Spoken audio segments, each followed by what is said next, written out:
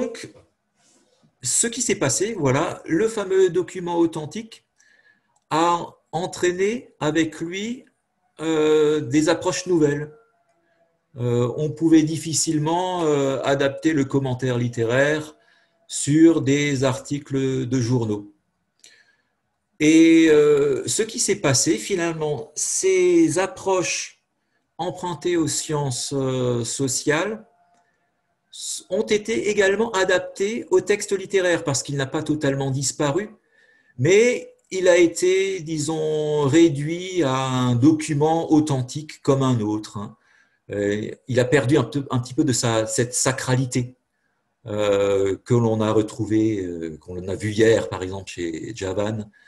voilà, donc pour avoir une, approche beaucoup plus fonctionnelle du français langue étrangère, on ne fait plus vraiment de différence entre un, un texte issu de la littérature et un texte issu des médias.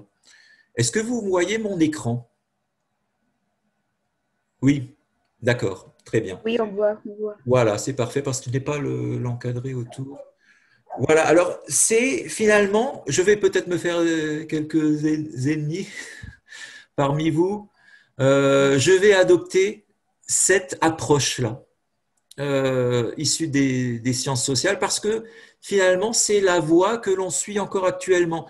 On peut observer un retour du texte littéraire. Bon, il n'avait pas totalement disparu. Si l'on feuillette des manuels des années 80, on trouve des extraits littéraires. Mais euh, j'ai l'impression que depuis une vingtaine d'années, disons, euh, il y a beaucoup plus de textes littéraires.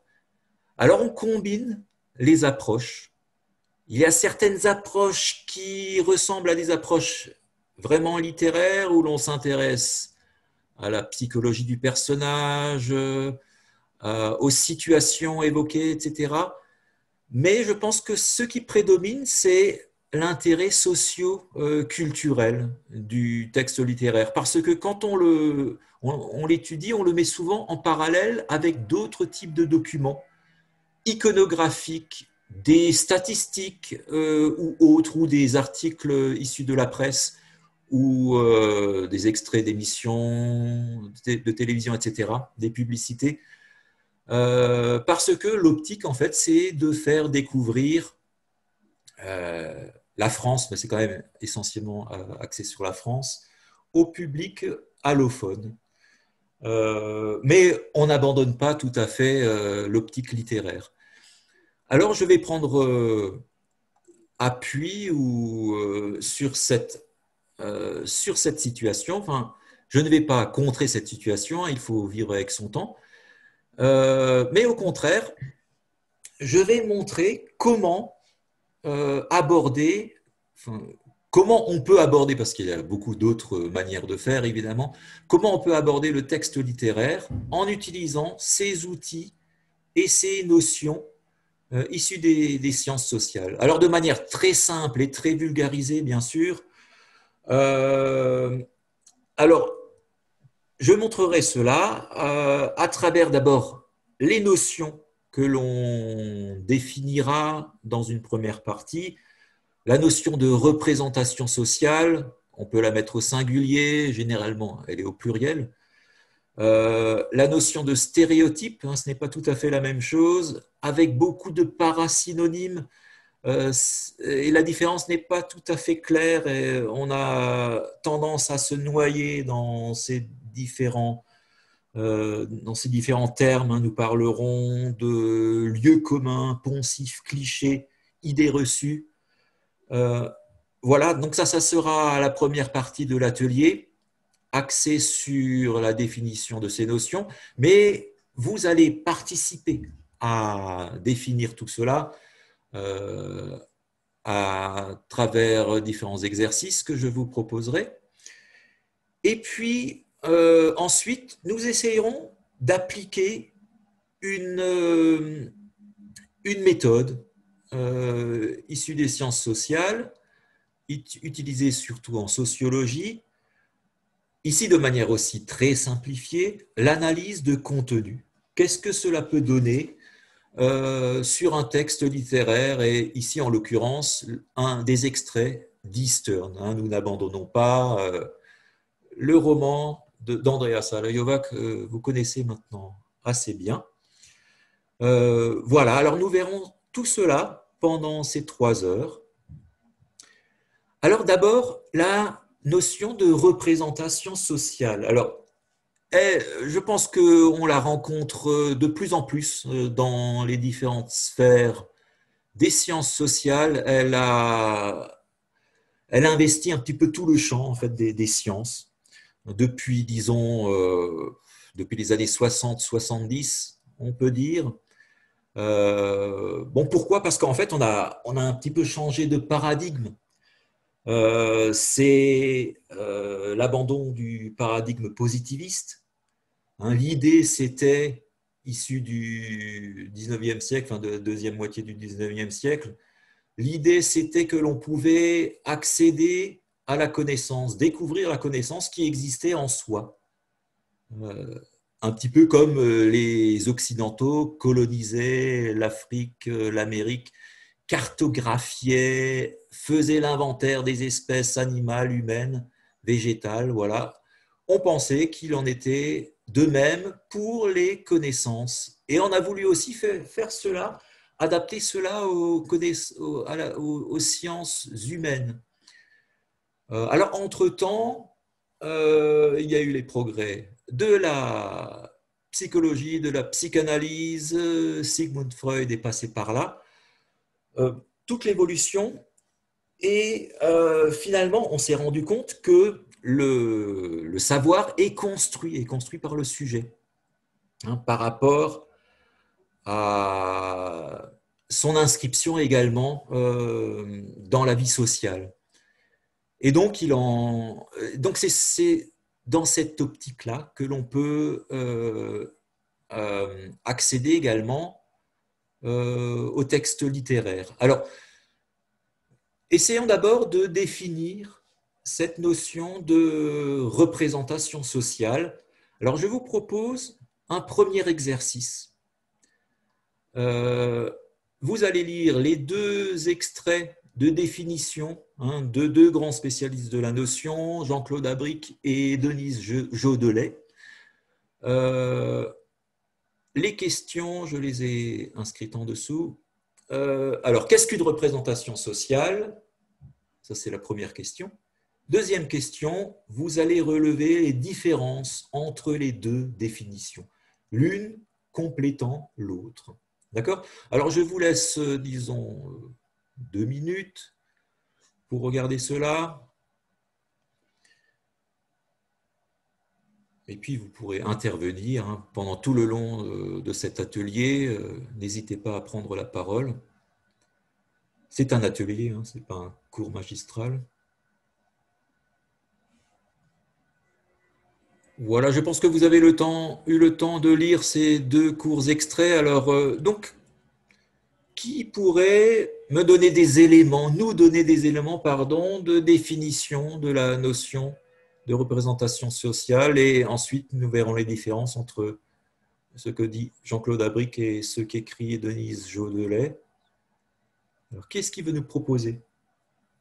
Des éléments de réponse? N'hésitez pas. Bon, ce n'est pas, nous ne faisons pas de littérature ici, d'accord, mais euh, cela reste quand même très abordable.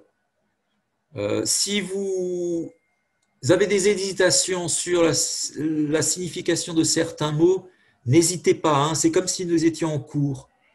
Euh, et je vous expliquerai en ce moment-là. Je pense qu'il n'y a pas de mots particulièrement difficiles ici. Bon, alors, je vais euh, répondre donc. Euh, voilà, alors l'idée c'est de la représentation sociale, c'est que, comme je l'ai expliqué tout au début, euh, la connaissance ne nous est pas donnée de manière objective. ce n'est pas un livre ouvert, et même un livre ouvert, hein, chacun le lit finalement à sa manière. on construit sa connaissance du monde Donc, la connaissance du monde, elle est subjective. Alors, elle est individuelle, mais pas seulement individuelle. Alors, c'est euh, à ce niveau-là que j'aimerais euh, que vous observiez euh, les deux définitions. Alors, que nous dit Jean-Claude Abric Alors, pour Jean-Claude Abric, elle est à la fois un processus et le résultat de ce processus. Hein, la, représentation sociale, c'est l'état d'une vision du monde, mais c'est aussi le, processus de construction de cette vision du monde qui, en fait, euh, qui se modifie constamment. Euh, n'est pas inscrite une fois pour toutes, peut-être dans les phénomènes de stéréotypes dont nous parlerons dans, quelques minutes, euh, alors, plus intéressant peut-être euh, ce que dit Denise Jaudelet. Alors, qu'est-ce qu'on apprend dans Denise Jaudelet? Bon, ici, j'ai écrit les réponses. Alors, quels sont les termes importants? Hein, N'hésitez pas à intervenir. Il y a le premier terme ici. Ah, je ne vais pas souligner le tout. Bon, quel est le terme que je souligne? Attitude. Attitude, voilà. Euh, tout le monde sait ce que c'est une attitude. Euh, la position que l'on a, hein, euh, elle peut être positive, négative, beaucoup plus nuancée que cela. La position que l'on a par rapport à un objet dans le système d'interprétation que l'on se fait de cet objet et puis les attitudes entraînent aussi,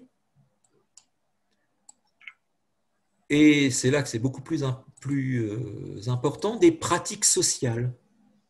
Euh, voilà. Alors, on a parlé de représentation, mais ces représentations, il y a un adjectif, sont Alors pourquoi est-ce qu'elles sont sociales? RS, hein, ça veut dire représentation sociale, vous l'aurez deviné. Elles sont, et c'est ça qui est intéressant pour nous et qui nous permet de, de, parvenir à une lecture collective finalement des extraits que nous verrons ensemble. Elles sont liées à l'appartenance voilà, sociale et culturelle euh, du sujet qui euh, produit les, représentations. D'accord Donc, est-ce que c'est à peu près clair Une représentation sociale, c'est la manière dont on perçoit le monde.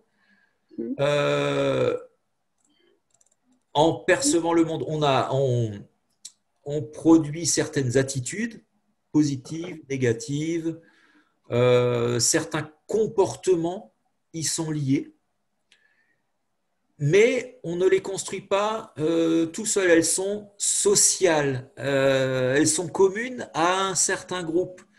Euh, justement, c'est ce qu'on va voir maintenant, parce que on est passé de, enfin, c'est cette idée de représentation sociale qui était déjà présente chez Émile Durkheim. Alors, vous connaissez peut-être Émile Durkheim, le père de la sociologie française.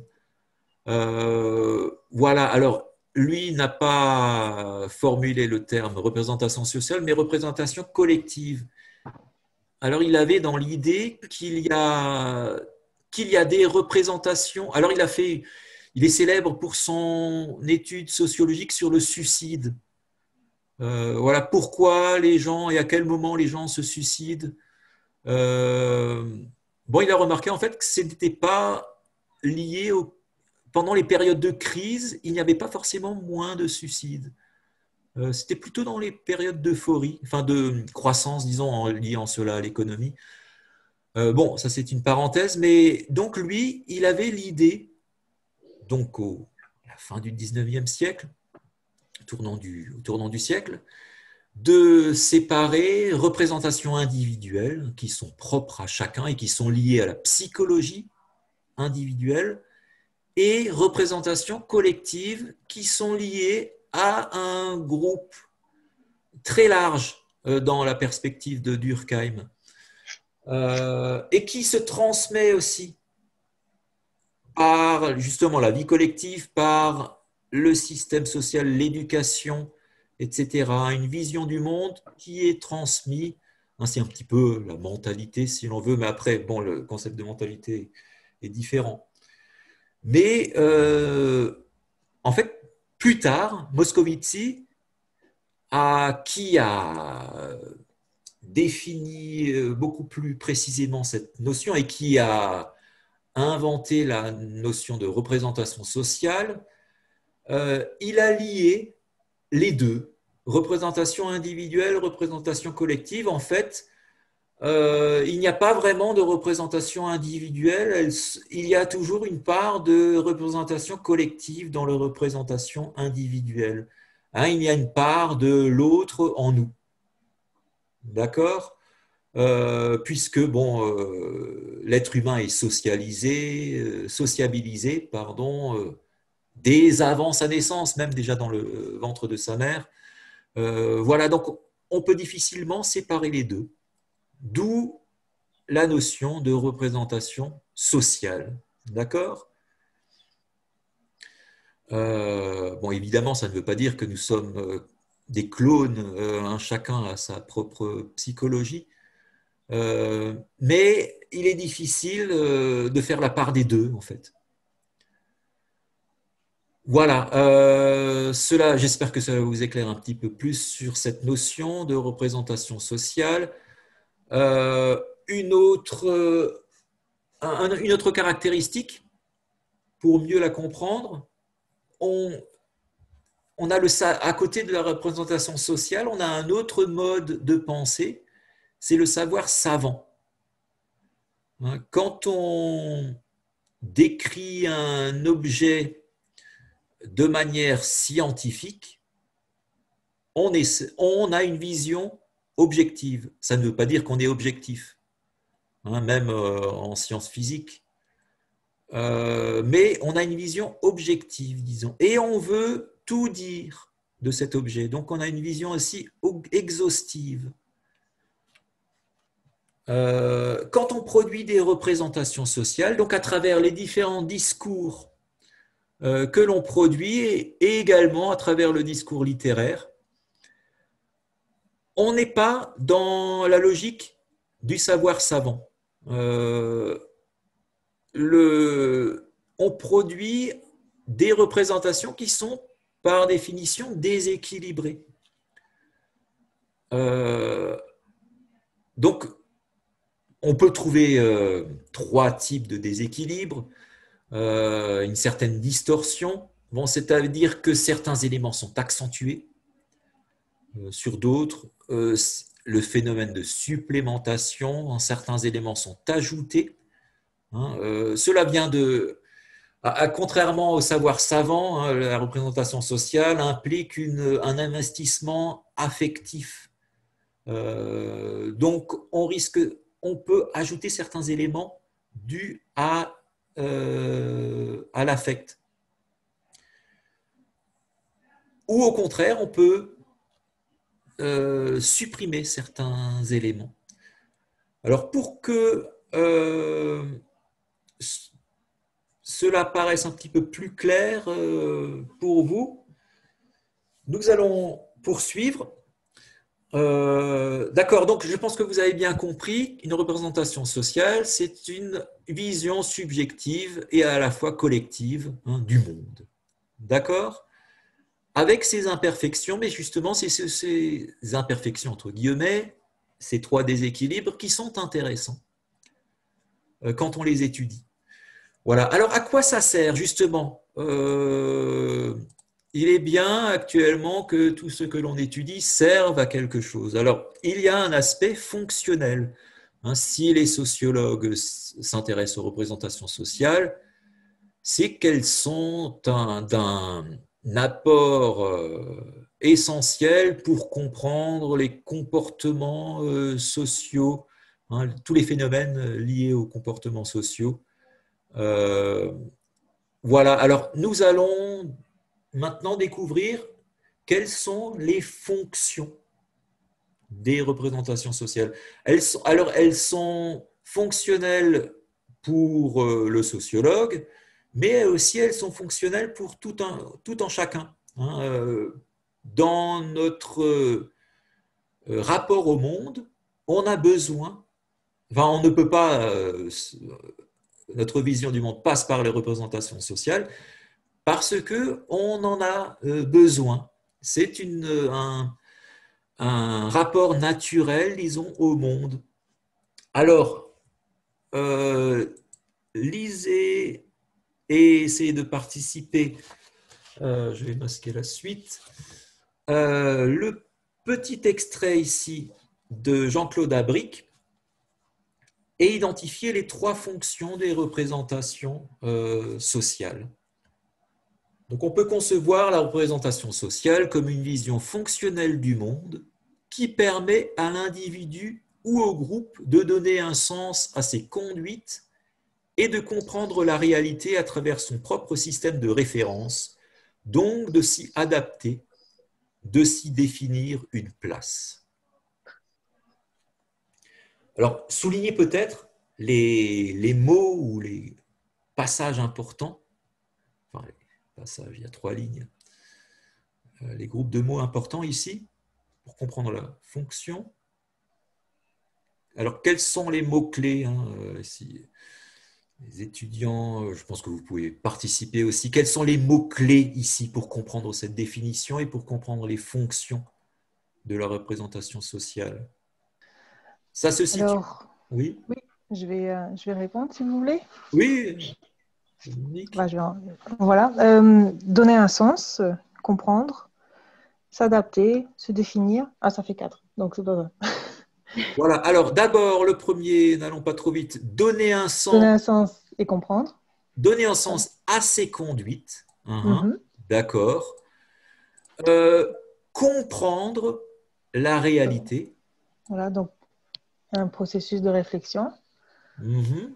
puis, oui, et puis? Et puis euh, la, la, réaction, comment on s'y adapte euh, et voilà. on, trouve sa place. S'adapter. Voilà, comment s'adapter au monde. Euh, et d'ailleurs, c'est aussi un des thèmes de la littérature de migration. Euh, comment s'adapter à la nouvelle société dans laquelle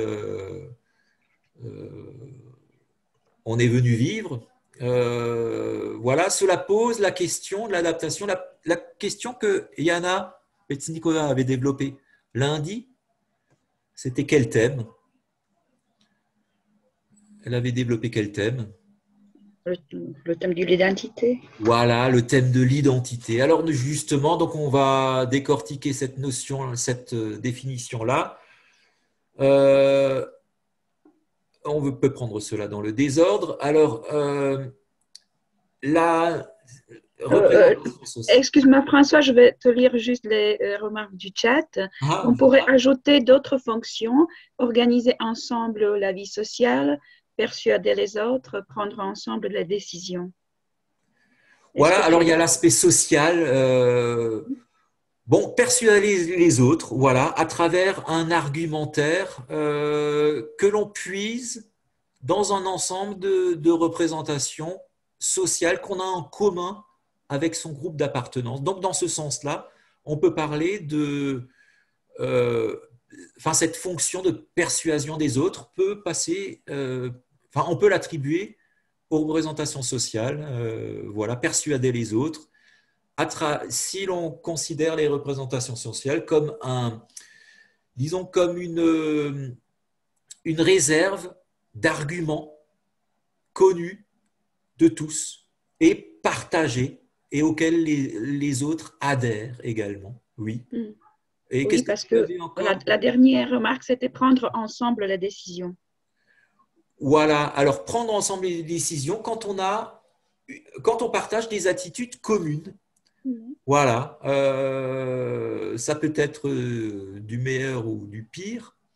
Voilà, alors cela rejoint la fonction attitudinal. Mhm. D'accord? Donc, on peut synthétiser tout cela. Donc, d'après ce que Dominique, ce que vous veniez, venez de dire, on a la fonction identitaire. Hein. Donc, c'est cet extrait. Ça, la représentation sociale permet de donner un sens à ces conduites et à c'est plutôt de s'y adapter et de s'y définir une place. D'accord? Quand on affirme dans son discours euh, telle ou telle chose à propos d'un objet dont on parle, on se définit aussi. On se définit surtout, finalement. Euh, on se situe également euh, à travers l'attitude. Donc, c'est le passage à travers son propre système de référence. Donc, justement, persuader les autres à travers un même système de référence. Euh, voilà. Et puis, la, la première fonction, c'est la fonction cognitive. Donc, c'est une manière de comprendre la réalité. Nous n'avons pas le choix, nous passons par euh, les représentations sociales pour comprendre la réalité du monde. D'accord? Donc il y a une sorte de d'objectivation, de volonté d'objectiver sa vision du monde. Donc trois euh, fonctions principales. D'accord? Cognitive, identitaire et évaluative hein, à travers les attitudes. Euh, d'accord? Je pense que j'ai répondu à vos remarques. Est-ce que c'est clair pour tout le monde? Voilà. Alors, nous poursuivons avec euh, tout ce qui est lieu commun, idées reçues, pensif, cliché. Alors, pourquoi je les ai séparés de représentation sociale? Alors, une représentation sociale, c'est quand même une vision assez élaborée assez complexe du monde euh, et qui est également assez ouverte. Donc au sens où elle est susceptible d'être enrichie, euh, de se transformer. Hein, à mesure que, au niveau peut-être individuel, à mesure que l'individu évolue dans son parcours euh, personnel mais surtout à mesure que la société euh, se transforme. Euh, voilà, donc on a un système assez complexe et évolutif. Et à côté de cela, on a des, un système simplifié, euh, des représentations simplifiées, stabilisées, fossilisées. Hein, ça, c'est peut-être un terme important. Hein. Un fossile, c'est quelque chose qui n'a pas bougé depuis des millions d'années. D'accord? Euh, Voilà. Alors là, le stéréotype, et puis c'est parasynonyme, c'est quelque chose aussi de très stable. Alors, j'ai accordé une place à part au stéréotype parce que c'est un petit peu plus complexe, disons, et on utilise plutôt ce terme-là. Euh, et c'est plus, c'est un terme beaucoup plus générique voilà, euh, d'accord. Donc, la représentation sociale, donc un système assez élaboré, assez complexe du monde. Les stéréotypes, euh, clichés, poncifs, euh, lieux communs, idées reçues, des représentations plus simplifiées. Alors, nous allons ensemble, vous allez plutôt définir les différents termes. Alors, comment est-ce qu'on va procéder euh, À partir de ces deux extraits, alors il y a le dictionnaire bien connu des idées reçues de Gustave Flaubert. Euh, ah oui, qu'est-ce que l'on fait? Fait, c'est ce qu'on a appris aussi. Est-ce que mes étudiants sont là? Je ne sais plus. Euh, en histoire, on, travaille sur quelques courts documents. Alors, qu'est-ce que l'on fait d'abord avant de lire le texte? Qu'est-ce qu'il faut faire d'abord? Qu'est-ce qu'il faut faire avant de lire le texte? Il faut tenir compte de quels éléments? Quand on aborde un document, quelques que soit-il Avant de se plonger dans la lecture, qu'est-ce qu'on regarde? La source peut-être? Voilà, la source. Hein, euh, le titre. Le titre, la source. Euh, c'est vrai que ce soit en langue maternelle ou en langue étrangère. Alors c'est encore plus vrai quand on, est apprenant, hein, parce que le titre peut déjà nous donner des idées sur le contenu. Euh, voilà, et la source, justement, alors ici, il y a deux documents très différents. Hein, quelles sont les deux sources Et les auteurs, l'un, le premier est connu, euh, l'autre, je ne connais pas personnellement. Il y a dictionnaire et puis il y a le journal Le Monde. Voilà. Donc un dictionnaire. Alors un dictionnaire, euh, un dictionnaire. bon ici, c'est pas un un dictionnaire se veut quand même objectif scientifique, d'accord euh, Bon, le dictionnaire de Gustave Flaubert, euh, c'est une vision un petit peu. Euh, il prend du recul hein, sur. ce n'est pas un dictionnaire objectif. donc, on a un dictionnaire et puis un, texte. Donc, en fait, qui a été publié après, bien après la mort de Flaubert. Euh, mais donc un texte du 19e siècle et puis un article du, très récent, d'il y a deux, trois ans, du Monde. D'accord? Alors, les deux parlent un petit peu de la même chose. Alors, vous allez lire ces deux extraits et puis ensuite, je vous montre la suite de l'exercice. Il y a à chaque fois une définition pour chaque terme et c'est un exercice à trous. Il faudra placer, nous allons le faire ensemble, placer les différents termes après chaque définition. Lieu commun, idée reçue, poncif, cliché. D'accord? À quoi ça correspond? Alors pour vous éclairer, vous allez lire, je vous laisse euh, deux minutes pour lire les deux extraits, puisqu'on a déjà une définition ou euh, des éléments de définition de, de la notion d'idée reçue et ensuite de celle de poncif. D'accord? Alors je vous laisse lire et réfléchir.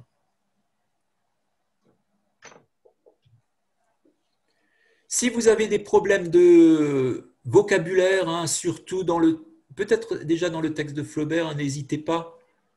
Euh, bon, blaguer, c'est clair pour tout le monde. Hein. on la plaisante. Convoiter, peut-être pas un terme que l'on, un verbe que l'on utilise trop souvent. Un convoiter, quelqu'un sait ce que ça veut dire convoiter Ou alors les futurs euh, profs de FLE natifs Peut-être? Comment vous expliqueriez ça à vos étudiants, aux apprenants de FLE Convoiter. C'est le fait de...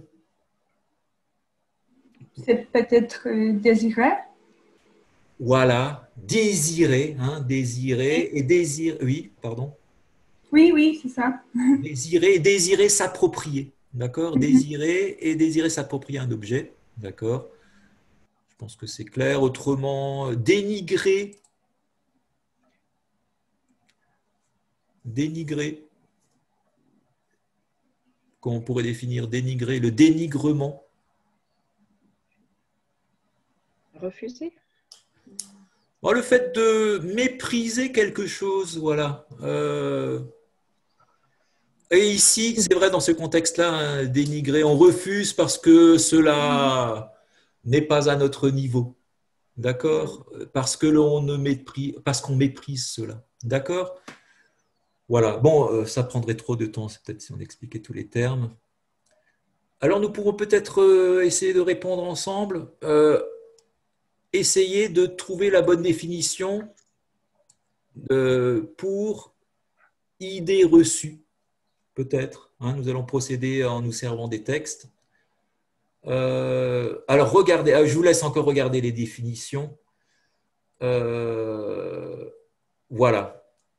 Donc, tiré de Ruth aussi, c'est un livre très, très intéressant. Euh, alors, euh, donc, je vous laisse regarder les différentes définitions et vous allez, dans un premier temps, trouver celle qui correspond à idée reçue hein, à partir de Flaubert. Donc je peux vous lire euh, la première définition au XIXe siècle. Ce terme désigne, au sens figuré, un travail sans originalité reproduisant des formes convenues. Il concerne la littérature, les beaux-arts et la musique. Deuxième définition, ce terme n'a pas de sens d'idée banale, mais concerne plutôt la relation à l'autorité.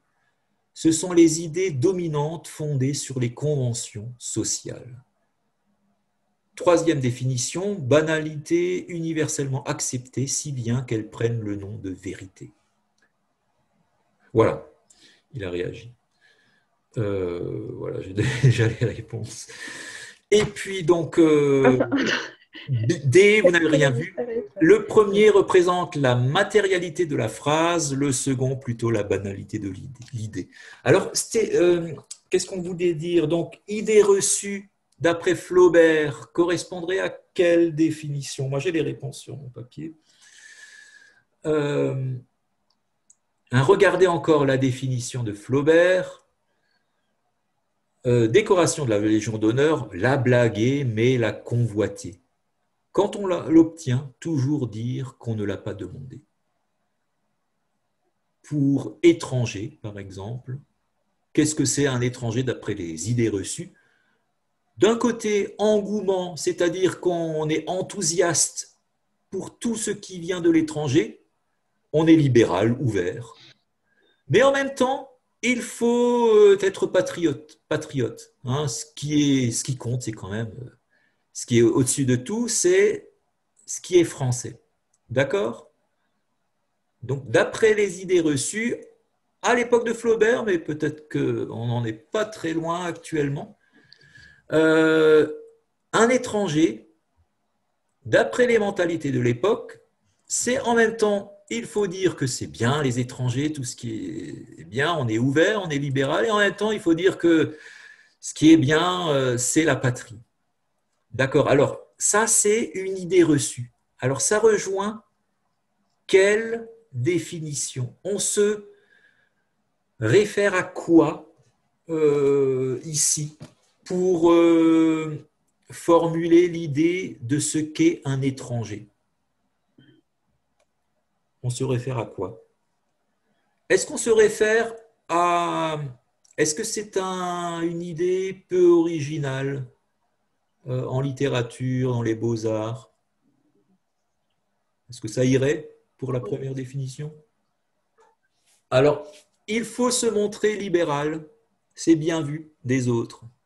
Mais en même temps, il faut se montrer patriote. C'est aussi bien vu. Alors, on en est, on est dans quelle idée ici? Je voudrais donner la parole aux étudiants plutôt, mais... Oui, je suppose que tu as déjà la réponse. Alors n'hésitez pas, hein, même si vous, Lenka par exemple, vous avez peut-être une idée, hein, même si euh, ce n'est pas juste que vous dites, ce n'est pas grave. Hein. Je, dirais que euh, l'option B. je ne sais pas. Voilà, hein, parce que ici, qu'est-ce qui est, euh, qu'est-ce qui vous a fait dire cela? Euh, Que ce sont les idées fondées sur la convention sociale. Voilà, hein, c'est tout à fait cela. Hein. Donc, idées reçues. Voilà, je n'ai pas tellement de place ici. Bon, idée reçue B. J'ai les, les réponses de toute façon après. Euh, ensuite, poncif. Regardez euh, ce que l'on écrit dans le monde. Et on va essayer de trouver la bonne définition. Alors ici, on se, on se plaint. Dans le monde, on se plaint de quoi? Dans la presse? Dans un tweet? De quoi se plaint un lecteur? Il y a plein de poncifs dans le monde ou dans la presse en général. Il se plaint d'une certaine l'uniformité, qu'on emploie toujours les mêmes expressions. Euh, voilà, on n'invente pas autre chose. Voilà. Hein. Euh, bon, peut-être parce qu'il faut produire des articles assez rapidement. Voilà. Toujours les mêmes expressions qui reviennent, les avions cloués au sol, un intérieur résolument contemporain, etc. Euh, un déficit abyssal, etc. Euh, donc ici, cela rejoint quelle définition? Bon, c'est assez, souvent assez ambigu, hein, on peut hésiter. Hein. Hein, ici, c'est plutôt sur c'est à quel niveau que l'on place le poncif. Déficit abyssal, euh, pluie, pluie diluvienne. Linguistique, il y a la réponse dans le chat, linguistique, le niveau. Voilà, ah, comment ça se fait que je ne vois pas le chat, moi? Oui, je, vais, je vais suivre le chat. donc, d'accord, c'est euh, donc la réponse c'est. Le premier, la première. non, Très bien, merci. Je ne sais pas pourquoi je ne vois pas le chat. Bon, peu importe, heureusement que Monica, tu es là. Donc, euh, poncif, imponsif. D'accord? Imponsif, c'est plutôt au niveau, au niveau euh, disons, de l'expression. Bon, ici, euh, de, des formules utilisées. Hein, donc, pour la langue. Mais on peut retrouver cela également dans d'autres arts. D'accord? Et puis, alors, euh, je n'ai pas d'extrait concernant qu'est-ce qui nous reste encore. Donc, euh, dans, donc, il y a lieu commun et puis cliché. Là, c'est un cliché. Euh, lieu commun, cliché, voilà. Alors, où est-ce qu'on va les mettre? Dans quelle définition? La définition, c'est banalité universellement acceptée. Voilà, ça serait pourquoi? Euh, Pour quel terme, euh, Lenka? Euh, Pour le cliché. Voilà, en fait, moi, cliché. non? Oui. alors, bon, on a une légère nuance entre les deux. Donc, c'est, ça serait plutôt lieu commun. lieu commun, c'est plutôt au niveau, au niveau de euh, de l'idée. Euh, d'accord euh, C'est une idée qui n'est pas originale, un lieu commun. D'accord Et qui prend finalement le, le statut de vérité. Elle est partagée par tous et elle n'est pas originale. D'accord Est-ce qu'on pourrait avoir un exemple, s'il vous plaît? Alors, on va passer aux exemples euh, un peu euh, justement plus tard quand on va faire des, exercices. D'accord, merci. Euh, voilà, ça sera plus clair après. un peu plus bas, hein, il y aura des exemples. ici, donc, on a le premier représente la matérialité de la phrase. bon, ça rejoint un petit peu le poncif parce que c'est les nuances hein, sont très euh, fines entre ces différentes euh, euh, notions. Hein. on aurait le cliché en ce qui concerne la matérialité de la phrase, la manière dont la phrase est construite, et plutôt en ce qui concerne l'idée, on aurait ici le lieu commun. mais on peut trouver finalement le plus délicat, alors qu'entre idée reçue et poncif, la différence est assez claire. Euh, par contre, entre cliché et lieu commun, euh, la différence est assez... Euh, enfin, il y a beaucoup d'ambiguïté entre les deux. alors, voilà en gros le lieu commun, c'est savoir tout, ce que tout le monde sait. D'accord Voilà. Et l'originalité vient quand on dépasse le lieu commun. Hein, ça, c'est un, extrait de Rémi de Gourmont. Euh, voilà, bon, l'idée reçue, je vous les ai, déjà donné la définition. Alors, nous allons.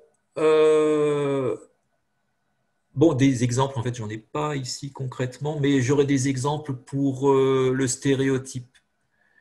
Ou alors, bon, j'en ai pas ici sous la main. Euh, bah, vous avez dans les deux premiers exemples dans les deux premiers extraits, hein, vous avez des exemples de euh, poncifs, euh, d'idées reçues et de poncifs. Hein, déjà. Donc vous avez déjà ces premiers exemples. Euh, j'ai ça ailleurs, j'ai pas ça dans ce fichier. alors nous pouvons continuer avec le stéréotype. Hein, le stéréotype. Donc, à côté de ces notions qui sont assez proches, on a celle qui est beaucoup plus générique, celle de stéréotype. Alors, euh, ah oui, une, euh, également sur l'origine de ces, peut-être quelque chose à ajouter sur l'origine de ces, euh, de ces notions en fait, le, lieu commun, hein, c'est quelque chose de très ancien et aussi qui n'était pas toujours péjoratif. Aujourd'hui, c'est péjoratif. Hein. Avoir les mêmes idées que tout le monde, euh, dans la mentalité euh, occidentale, il faut être original. Hein, le lieu commun, aujourd'hui, est dévalorisé. Mais ce n'était pas toujours le cas. Hein. C'est un terme qui remonte à l'Antiquité, à la rhétorique. Hein. Le lieu commun, c'était en fait une réserve d'arguments. Euh, comme l'idée reçue. Hein. C'était des réserves d'arguments que l'on utilisait. D'accord? C'est seulement au tournant du 18e, 19e siècle que ces termes qu'on a attribué à ces termes un sens péjoratif. Euh, justement, dans la critique sociale, dans l'idée d'originalité aussi, hein, notamment chez les, romantiques au XIXe siècle. Voilà. Euh, alors, on a les deux autres termes, poncif et cliché. Euh, ils viennent d'où? Quelle est l'origine de ces termes? Poncif et cliché, qui traduisent une certaine idée que l'on va développer avec le stéréotype. Alors un cliché, c'est peut-être plus connu. Un cliché, qu'est-ce que c'est? Bon, je, suppose que vous connaissez encore. Enfin, vous avez, on vous avez un portable pour prendre des photos, des appareils numériques. Avez-vous connu le, euh, le film. Avez-vous déjà oublié de mettre un film dans votre appareil photo euh, Vous en êtes aperçu après votre retour de vacances Ou bien euh, ouvert l'arrière de l'appareil, l'ouverture de l'appareil photo et puis tout le film était foutu. Avez-vous connu ça? Oui, encore Très bien. Alors, il s'agit ici de... C'est c'est quel terme?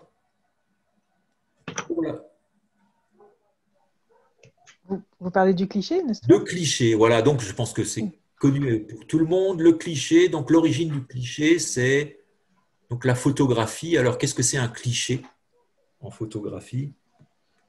Une prise de vue, une photo? Voilà une photo, un négatif, disons. Hein. Il y avait le négatif que l'on développait. Peut-être mm. avez-vous déjà développé des photos dans une chambre noire avec une lumière rouge. Euh, Alors, avec quand on a un négatif, qu'est-ce qu'on peut faire? Reproduire. Voilà, on peut le reproduire. D'accord, on peut le reproduire à l'infini. Hein. C'est donc à l'époque quand euh, les techniques de la presse se sont modernisées. Donc, on a, et avec l'invention de la photographie, il y avait le verbe cliché. En fait, c'est le verbe cliché, faire, et puis c'est le participe passé cliché qui a donné le nom cliché. Voilà donc une photo que l'on peut reproduire à l'infini. D'accord? Voilà, donc il y a cette idée de reproduction. D'accord? À l'identique. Je réponds déjà euh, à l'exercice suivant, mais ce n'est pas grave. Poncif, euh, ça vient d'où? Poncif, ça vient de quel verbe? Poncif. Quel verbe? Poncer. Poncer, voilà. Poncer, qu'est-ce que ça veut dire poncer? Pas un verbe qu'on utilise trop souvent, sauf si on travaille dans la menuiserie ou poncer. À réfléchir, peut-être. Ça sert à polir.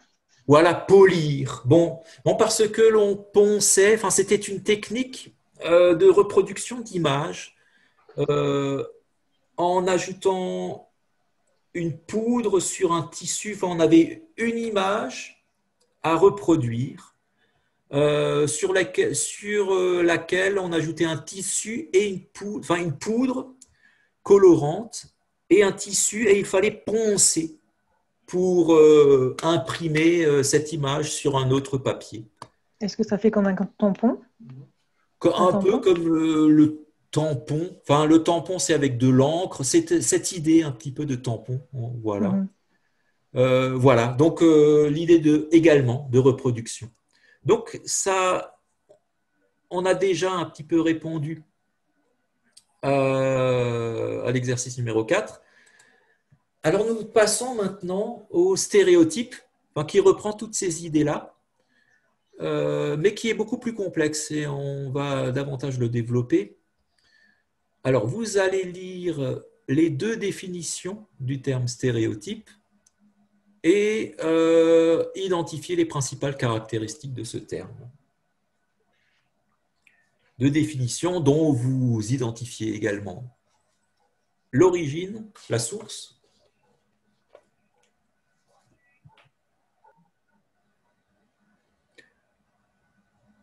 C'est bon?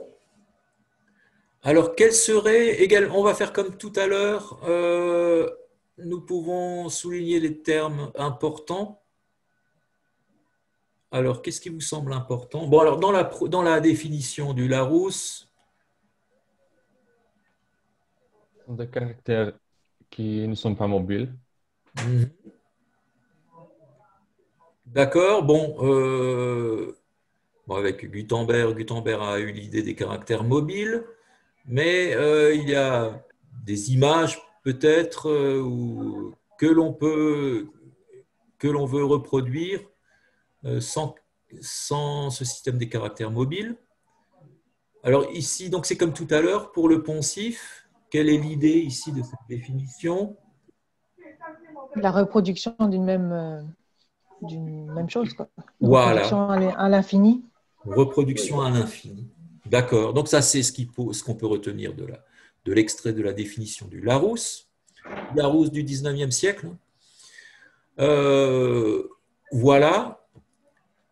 Euh, et puis, dans la deuxième euh, définition, qu'est-ce qu'on peut retenir ici? Le degré de généralité d'une opinion. Voilà le degré de généralité euh, d'une opinion. Hmm, d'accord Donc c'est quelque chose de très général. Donc ça veut dire, quand quelque chose est général, c'est aussi, qu'est-ce qu'on peut dire hein, C'est aussi quelque chose de simple. Oui, c'est pas très approfondi, c'est simplifié. Quoi. Voilà. pas individuel, peut-être. Voilà, pas, individuel, très bien, pas individuel. Euh, voilà. Euh, quoi encore? Le fait de la rigidité, peut-être? Voilà, la rigidité. Euh, voilà, c'est ce qu'on a, aussi. Donc, qu'est-ce que ça veut dire rigidité? Dans quel sens? C'est ce qu'on a dans la première définition. Euh, qui n'a pas de, qui n'est pas, euh, qui, se, qui n'est pas flexible, qui reste euh, tel quel, sans hmm. changement, sans mobilité? Hmm. Voilà, d'accord. Hein. Donc c'est voilà le fait de rester tel quel, hein, sans changement, mhm. identique à, lui-même. D'accord. Qu'est-ce qu'on pourrait encore souligner? Un état de simplification. Voilà, hein, ça reprend euh, ce qu'on avait déjà dit, euh, opinion générale, mais un état de simplification. Euh, très bien. voilà. Donc c'est une vision simplifiée hein, du monde, rigide. Et quoi encore? Ici peut-être aussi, quel est le terme que je viens de souligner ou surligner? C'est immédiateté. Voilà, immédiateté. Qu'est-ce que l'on veut dire par là? Immédiat. Euh, étymologiquement, hein, qui ne passe pas par la médiation. Il n'y a peut-être pas de filtre non plus? Voilà. Euh, pas direct, en fait. C'est direct. Voilà. Mhm. Euh, sans prise de recul, disons. Hein, voilà. D'accord Bon, on a, on a vu à peu près l'essentiel. Donc, il y a toutes ces idées-là hein, qui différencient le stéréotype de la représentation sociale, hein, qui est plus complexe. Euh, d'accord Donc, pour résumer cela, donc on a l'idée de répétition hein, d'un phénomène, l'identicité, la fixité à travers la rigidité, euh, simplification, généralisation, immédiateté, pas de prise de recul. Et puis, ah, j'ai oublié une chose encore, excusez-moi. Euh, l'autre terme dont parle Moscovici à la fin, l'orientation polarisée. Euh, polarisée, qu'est-ce que ça veut dire? Un pôle. Bon, polarisé. Divisé en deux. Hmm, un de pôle ou quelque chose comme ça? Voilà. Hein, euh, sur une pile, hein, il y a plus et moins. Hein. Il y a le pôle sud, le pôle nord. Euh, voilà. Donc, euh, cela rejoint l'idée d'attitude. et souvent très très peu nuancé. Soit on accepte, soit on rejette on rejette. D'accord? Positif ou négatif? D'accord? euh, Voilà. Euh, alors, il y a la question aussi euh, de. Il y a la question aussi du fond de vérité hein, dans le stéréotype. Hein, parce que souvent, ce que l'on entend souvent par rapport à un, stéréotype, qu'est-ce que l'on entend souvent? Il y a du vrai. Bon, alors, euh, par exemple, je ne sais pas, les Écossais, qu'est-ce qu'on a dit des Écossais? Ou bien, oui. Pardon? Qui sont avares? Avares. Voilà, bon, c'est peut-être un très bon. quelqu'un qui connaît l'Écosse, peut-être. Ah, ils, aiment tous le whisky. voilà. Ça, c'est un autre stéréotype. Euh, voilà. Alors, euh, alors l'idée, c'est aussi qu'il y a du vrai. Bon.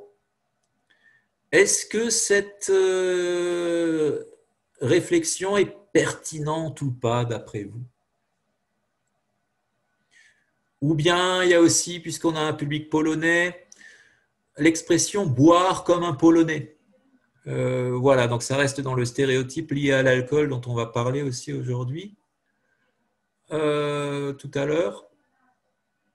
Alors, il y a du vrai. Est-ce que c'est une euh, question pertinente ou pas, d'après vous? Pertinente, certainement, mais gênante, ça c'est sûr. Voilà, c'est gênant. Bon, en fait, on est, avec les stéréotypes, on n'est pas dans le mode du vrai ou du faux. Hein, ce n'est pas ce qui nous intéresse. Hein, en fait, euh, on ne peut pas dire qu'un stéréotype, d'un stéréotype, qu'il soit correct ou incorrect. D'accord? Enfin, ce n'est pas la question à poser. Euh, en fait, ce qui, est, ce qui est intéressant pour le stéréotype, c'est que d'une certaine manière, comme on va le voir dans un instant, les stéréotypes peuvent être utiles hein, parce que c'est la première relation le premier type de relation que, euh, par laquelle on entre en, contact avec un objet inconnu. Euh, c'est utile à condition qu'on le dépasse, mais ça peut être aussi nuisible hein, si on, s'en tient au stéréotype. D'accord? En fait, la question de la vérité n'est pas, enfin, n'est pas, ne concerne pas le stéréotype. Hein, c'est pas euh, la problématique, disons. D'accord? Euh, parce que à stéréotypes sont liés encore d'autres phénomènes, hein, le phénomène de préjugés et le phénomène de discrimination. Bon, ici on est vraiment dans le, euh, négatif, hein, parce que le stéréotype est souvent quand même péjoratif. Euh, alors la différence, le stéréotype est lié aux croyances, aux opinions, euh, que l'on a d'un groupe, le préjugé, lui, est lié aux attitudes. D'accord? Et puis, quand on passe à l'acte, c'est la discrimination. D'accord? Là, c'est trois degrés, si vous voulez. Voilà, alors, euh, bon, on a le stéréotype, on a parlé avant des représentations sociales, maintenant on a parlé du stéréotype.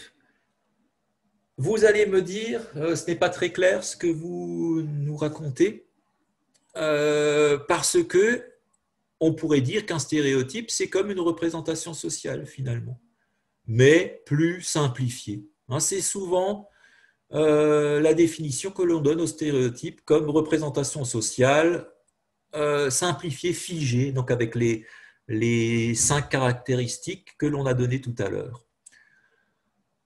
Alors, où est la limite? À quel moment est-ce que l'on a affaire à une représentation sociale? À quel moment est-ce que l'on passe au stéréotype? Tout cela n'est pas très clair parce qu'on n'a pas de critères suffisamment euh, clairs également. Alors, euh, pour euh, éclaircir cela, on peut passer par la théorie des blocs conceptuels. Alors on va prendre des exemples, vous verrez. Qui fait la différence entre le stéréotype et euh, la représentation sociale Alors, euh, qu'est-ce que... Alors, Je me réfère ici à une étude qui a été faite par Alfredo Lescano. Euh, alors, de quoi s'agit-il? En fait, la représentation sociale, d'une part, et le stéréotype de l'autre ne fonctionnent pas sur le même mode. Euh, alors, c'est-à-dire que la représentation sociale, elle fonctionne sur le mode prédicatif et réaliste. Alors, qu'est-ce que ça veut dire cela? Prédicatif, ça veut dire que quand on... C'est le fait d'attribuer une propriété à un objet. D'accord? Euh, Mais sans que, on va prendre un exemple après, mais sans que l'objet mais l'objet existe indépendamment de son attribution. Alors que euh, le stéréotype, lui, imbrique la propriété et l'objet qui ne font qu'un. Euh, disons, le mode est essentialiste. Essentialiste, pardon. Euh, c'est-à-dire que euh, le nombre limité d'attributs de l'objet font l'objet. Euh, les Écossais sont avares. on confond hein, l'unique image que l'on a de l'Écossais, c'est un personnage avare on, ne peut pas euh, séparer les deux. Bon, pour que vous compreniez mieux, il y a une méthode pour distinguer les, deux. Ah, donc d'un côté, le mode prédicatif et réaliste, de l'autre, le mode essentialiste. Euh, et de l'autre, le mode causal et oppositif. Le mode prédicatif et réaliste concerne la représentation sociale. Donc on peut détacher. Euh, on le verra euh, quand on travaillera sur des extraits de Salayova. le stéréotype fonctionne, enfin, d'après cette théorie des blocs conceptuels, sur le mode causal et oppositif. La cause et l'opposition. On ne peut formuler que deux types euh, de discours sur, à propos du stéréotype, un discours causal ou un discours oppositif finalement, qui les deux se rejoignent. Alors, bon, euh, cette théorie des blocs conceptuels, elle s'inspire de la théorie des blocs sémantiques, euh, qui est une manière d'identifier le système d'argumentation. D'après la théorie des blocs sémantiques, une argumentation, quand on regarde un texte, un article, pardon, par exemple, on va repérer les différents arguments qui appuient la thèse de l'auteur en identifiant toutes les formulations en donc. C'est l'enchaînement normatif. Donc, ou bien les, équivalents. Euh, en effet, euh, euh, ainsi, etc toutes les formulations qui appuient la thèse. Et l'argumentation fonctionne aussi de manière inverse par l'enchaînement transgressif. Hein. Une transgression, qu'est-ce que ça veut dire une transgression? Un transgresser,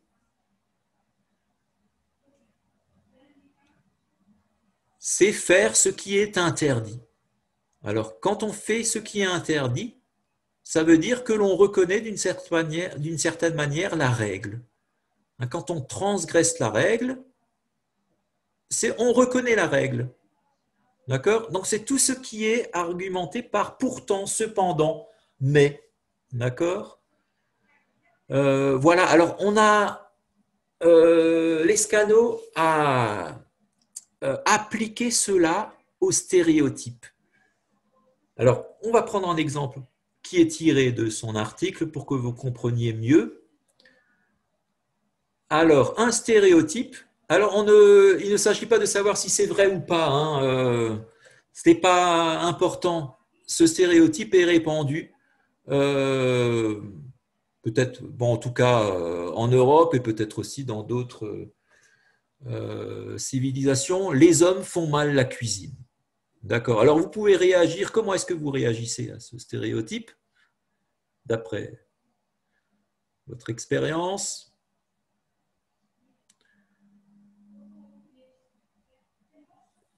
Vous avez peut-être une expérience des hommes à ce niveau?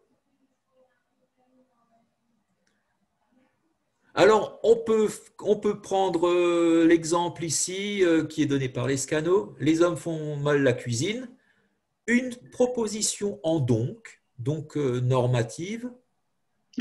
Pierre cuisine mal. Une dame qui parle, une femme qui parle de son mari. Que veux-tu? C'est un homme. Donc, donc, ça veut dire c'est un homme qui cuisine. D'accord? C'est pour vous montrer que pourquoi les hommes font mal la cuisine, c'est un stéréotype. Hein, parce qu'on ne peut pas sortir de cette proposition. Mais si on affirme le contraire, euh, elle a de la chance, Pauline, elle a épousé un homme qui sait cuisiner. Euh, et souvent, hein, on, souligne cela. Hein, ah, il sait cuisiner, Jean-Pierre, d'accord? Comme si c'était quelque chose qui n'allait pas de soi, d'accord? Euh, Alors, ça ne, il reste quand même un homme, enfin, on, l'espère pour Pauline. ça marche aussi. Il transgresse la règle, mais pour mieux finalement l'affirmer. Hein, c'est un homme, pourtant il cuisine bien. D'accord? Euh, Voilà. Alors, euh, donc un stéréotype fonctionne par cette affirmation. Euh, alors nous allons prendre un exemple. Euh, on va peut-être sauter ça, c'est peut-être moins intéressant. Euh, ou alors après. voilà, alors nous en arrivons enfin, parce que je pense que vous commenciez à vous désespérer de ne pas aborder Eastern, mais je vous rassure, on s'y attardera également. Alors, vous allez faire l'exercice numéro 6. Alors, où est-ce que j'ai posé les questions? Euh, Donc, en suivant euh, la théorie des blocs sémantiques, vous allez travailler sur cet extrait. Alors, vous allez d'abord lire l'extrait, et puis vous allez identifier dans ce texte le stéréotype attribué aux hommes de l'Est de la Slovaquie.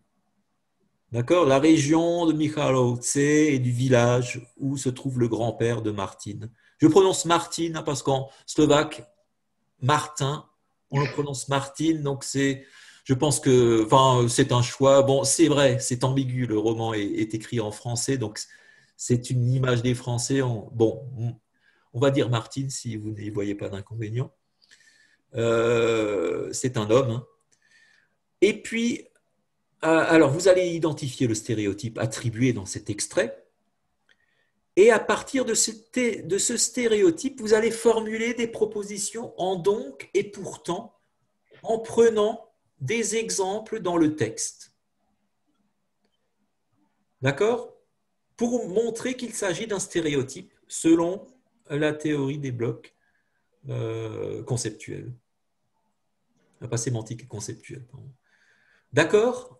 Est-ce que c'est clair? Alors, je vous laisse. Alors, je vais un peu arranger ma page. Euh, bon, l'idéal, c'est que vous ayez lu les extraits avant. Alors, je vais vous laisser un petit peu plus de temps. Donc, vous lisez, vous identifiez le stéréotype qui n'est pas difficile à trouver, et puis ensuite, on peut le faire peut-être ensemble, euh, formuler des propositions en donc et en pourtant. D'accord Donc je vous laisse, disons, euh, combien de temps il vous faut euh, Cinq minutes, ça va? Il y a qu'un stéréotype à trouver ou il y en a plusieurs? Euh, Un. Enfin, il y en a peut-être d'autres encore, mais il y en a un qui est. il y en a un très fort, quoi. Hein, qui est flagrant. Qui est moins fort. en comparant le grand-père aux autres hommes on écrit dans le chat ou euh? Euh, On peut mettre en commun euh, ou peut oui, vous pouvez l'écrire dans le chat. Ou non, je, je vais lire ce qui se voilà, dans le chat. Parce que chez moi, le chat n'apparaît pas, je ne sais pas pourquoi. Mais, parce que tu partages l'écran. Tu ne le vois pas parce que tu ah, partages Ah, d'accord, c'est pour ça. Mais après, c'est mieux peut-être d'intervenir directement. Euh. Mais il est vrai qu'il est possible d'y trouver plusieurs stéréotypes. voilà, c'est vrai, c'est vrai. Bon, disons, euh, ce qui différencie, euh, enfin, sur les hommes ici, hein, sur les hommes de la région, de, cette région de Slovaquie.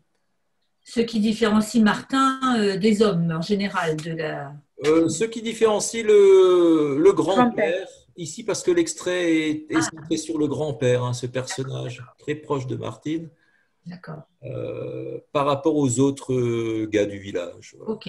moi, j'en ai vu au moins deux, quoi. Deux forts, disons. Il y en a peut-être plein, hein, mais. Euh, oui. Mm.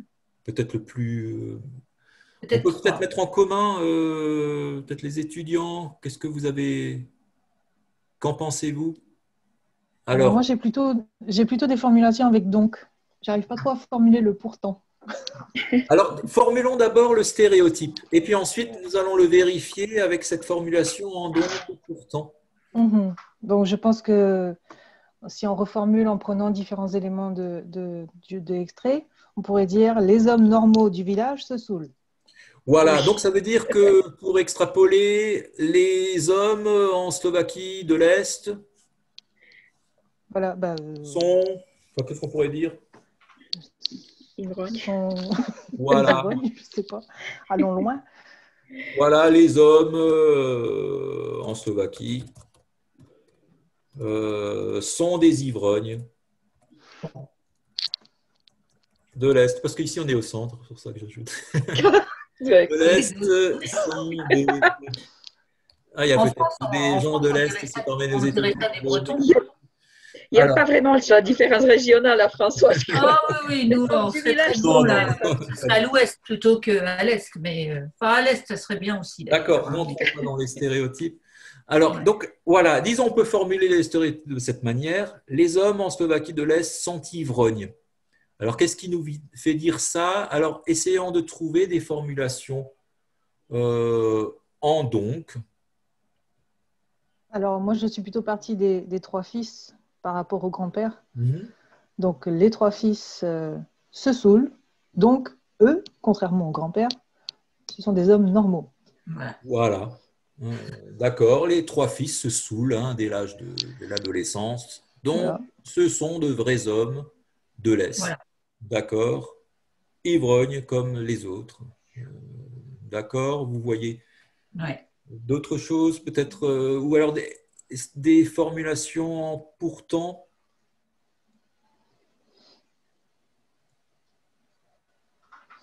Le grand-père euh, le grand-père est un homme de Slovaquie de l'Est. Pourtant, il ne, se il ne va jamais se saouler comme faisaient les hommes du village. Voilà, hein, d'accord. Donc ici, tout fonctionne finalement. Euh, bon, j'ai formulé ça ici de manière un peu différente. Les hommes de Slovaquie sont alcooliques, ivrognes, enfin peu importe. Euh, voilà. Euh, donc les fils du grand-père commençaient à se saouler avec les copains dès qu'ils avaient atteint 15-16 ans. Ce sont donc deux vrais Slovaques de l'Est. avec le grand-père, on peut aussi formuler en donc. Le grand-père ne boit pas. Il est donc, alors, soit il n'est pas un vrai Slovaque de l'Est, hein, parce que dans ce passage, on, euh, on, formule des doutes, hein, euh, ou alors pourtant, hein, euh, pourtant il ne boit pas. D'accord? Alors on peut aussi extrapoler avec le reste du roman la position de Martine par rapport à ce stéréotype lié à l'alcool. Quelle est sa position? La position de Martine. Alors, si on va plus loin dans le roman, là, c'était quelle page? Euh, Voilà, c'est plutôt vers la fin, dans les, vers les pages 100 et quelques 120. Et certain, c'est qu'on voit que, que dans, le, dans, le, roman, Martine n'accompagne pas, enfin, quand il accompagne euh, ses, ses oncles et son père, euh, il ne participe pas, sauf à la fin où il il est euh, dans une soirée, il abuse une fois dans tout le roman, je pense. Mhm. Et il est très proche de son grand-père, donc je pense que il voit, il constate bien cette différence entre son grand-père et le reste des hommes du village. Et lui-même est, euh, différent. Voilà, euh, différent et en même temps, il veut être identique aux autres. Voilà, donc on le fait aussi entrer dans ce, dans ce stéréotype, euh, d'accord euh, oui, oui si je peux, je, si je peux ajouter quelque chose, je, crois, je crois que ce stéréotype est encore plus renforcé parce qu'il est expliqué. Donc non seulement on constate le fait, enfin, ils boivent, mais ils boivent parce qu'ils n'ont aucune vie spirituelle, aucune vie culturelle, ils ne lisent pas, et donc ils doivent, ils sont complètement, euh, ils sont complètement impuissants euh, envers la réalité. Donc voilà, ils doivent oublier cette réalité. Et donc c'est une sorte de remède. Et ce n'est pas une simple coutume, mais c'est également euh, la conséquence de quelque chose. Et je crois que c'est ça en fait qui, qui, qui est très, enfin pour moi, qui est problématique parce que ça on a l'impression qu'il y a une réflexion sur ces stéréotypes. C'est-à-dire, on propose une explication de ces stéréotypes. C'est ça qui me, euh, c'est ça qui attire mon attention. Juste pour euh, voilà, ajouter à, cette. Il y a un rapport causal. Euh, voilà, les, il n'y a pas d'avenir en Slovaquie, donc on boit. voilà, comme si la, la, boisson était inscrite était une fatalité, était, était euh, l'aboutissement logique de, de la population masculine quand même, bon, et puis les femmes en subissent les conséquences. D'accord? Donc il y, a, cette. Voilà, tout à fait, Bernadetta. on, on insiste un petit peu trop hein, sur ce rapport un peu, on se dirait euh, dans Émile Zola, euh, voilà, c'est euh, l'aboutissement irréversible vers l'alcoolisme, enfin un cercle vicieux et donc ils ne peuvent pas s'en sortir parce que les conditions ne sont pas favorables, donc ils boivent et ils boivent, donc ils ne pourront pas s'en sortir. Euh, d'accord. Donc on est, on est dans ce cercle fermé. Est-ce que tous les stéréotypes ont, toujours cet effet de, fatalité, là, comme dit Bernadetta? Hmm. Peut-être. Hein. voilà, justement. Hein. Euh, justement, c'est une des caractéristiques aussi du stéréotype, hein, cette fermeture, cet aspect fatal. donc, puisque euh, c'est l'aspect essentialiste, ça fait partie de l'homme de l'Est. Euh, c'est inscrit en lui, d'accord euh, Ce n'est pas un attribut qu'on peut lui, euh, qu'on peut lui, qu'on peut détacher de lui. C'est un petit peu ça. Cette, je, reviens, je reviens, François, un petit peu vers le passé parce que c'est la même chose. Ça dure et c'est exploité par la littérature slovaque dès les années 20 du XXe mhm. siècle, avec la crise, les gens qui se sont exilés pour les États-Unis pour gagner de l'argent et l'envoyer pour ses familles et tout ça, parce que à la maison, c'est-à-dire en Slovaquie, il n'y avait plus de, de possibilité de pouvoir vraiment vivre et faire vivre sa famille. Et l'alcoolisme, ça les accompagne en fait. Donc, c'est aussi quelque chose de d'hérité quand même. C'est mhm. quelque chose de, longue durée, cette fatalité euh, dont, on parle. Voilà, mhm. voilà mais euh, on ne dépasse pas, disons, le, ce rapport de fatalité. Voilà. Parce qu'il y a quand même des choix. Bon, euh, mais on nous présente ça comme,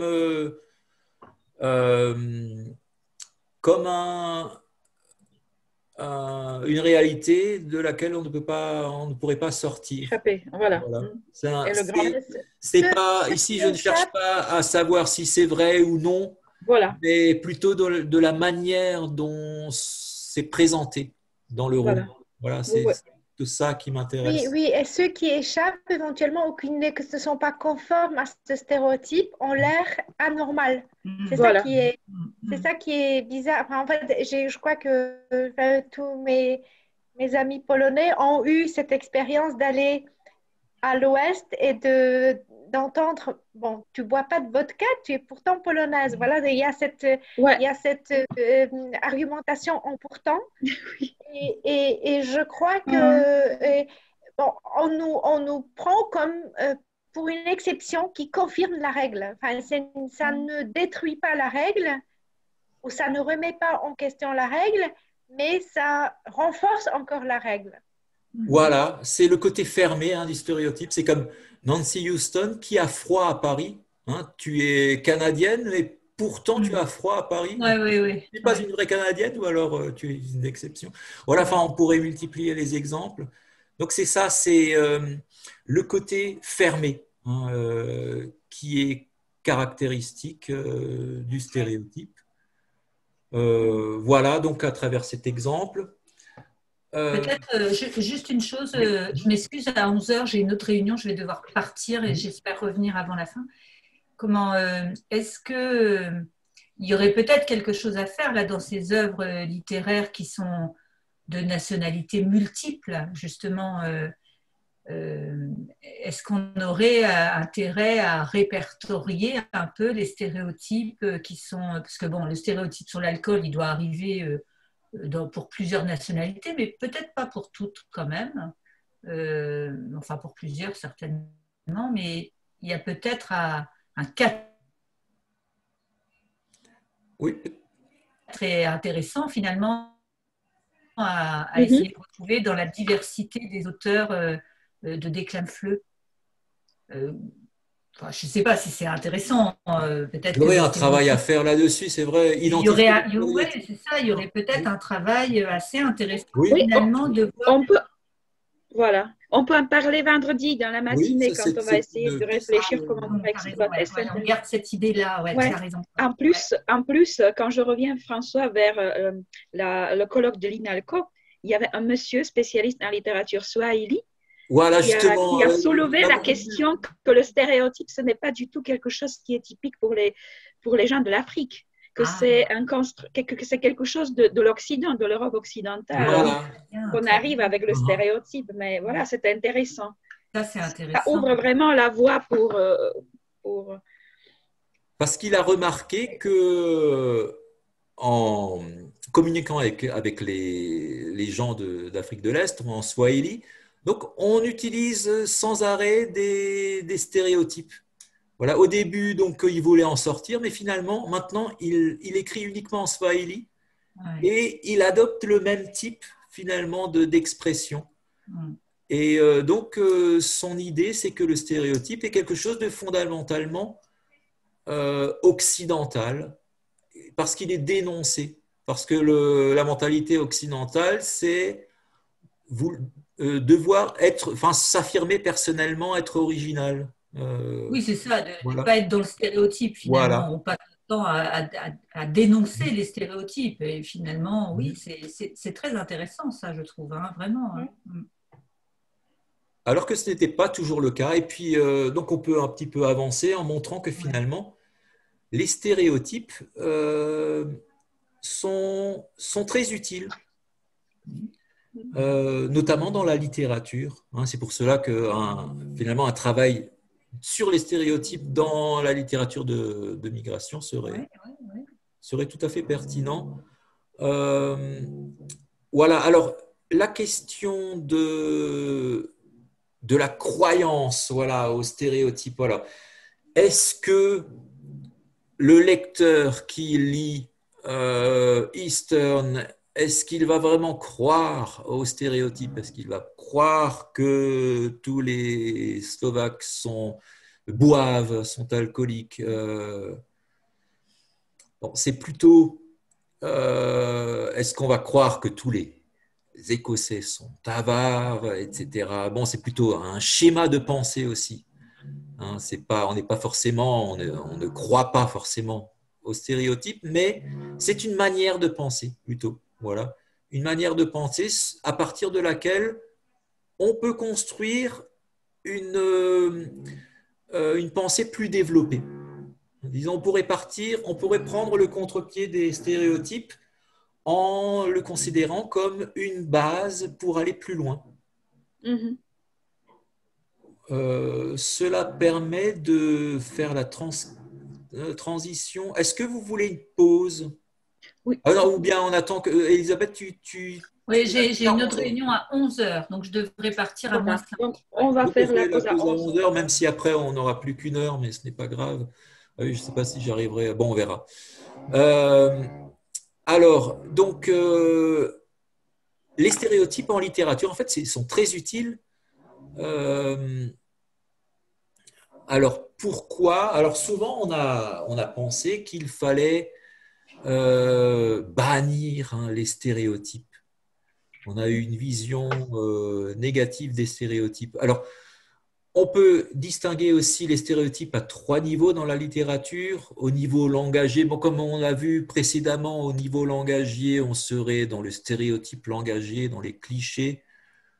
Au niveau fictionnel, on serait dans le stéréotype euh, littéraire, au niveau de l'action. Et ce qui nous intéresse ici davantage, au niveau des représentations euh, socioculturelles, on est dans le stéréotype euh, idéologique. Donc le stéréotype en littérature, il agit à différents niveaux, hein, notamment à ces trois niveaux. Euh, alors, bon, on va un petit peu avancer parce que sinon on n'y arrivera pas. donc, ce que, que l'on peut dire, c'est que le stéréotype, en fait, il n'était pas toujours vu de manière péjorative. Hein, il y a une longue tradition euh, où, il était plutôt positif. Hein, ce n'est que à partir d'une certaine époque que l'on a voulu éviter le stéréotype qui était banni. Donc là, on pense à Flaubert, à son dictionnaire, mais depuis, quelques, depuis les années 60, disons, on peut dire qu'on a pris le contre-pied, on, on s'intéresse aux stéréotypes pour lui-même, disons, sans jugement de valeur, hein, en, sachant prendre du recul. Euh, et on le considère aussi comme euh, pour sa fonction ludique et, pour, et aussi pour euh, une aide pour entrer dans le texte. Hein, c'est ce que je voudrais développer maintenant Mhm. Euh, par rapport à la notion de littératie. Alors la littératie, est-ce que vous avez déjà entendu parler de cette notion, la littératie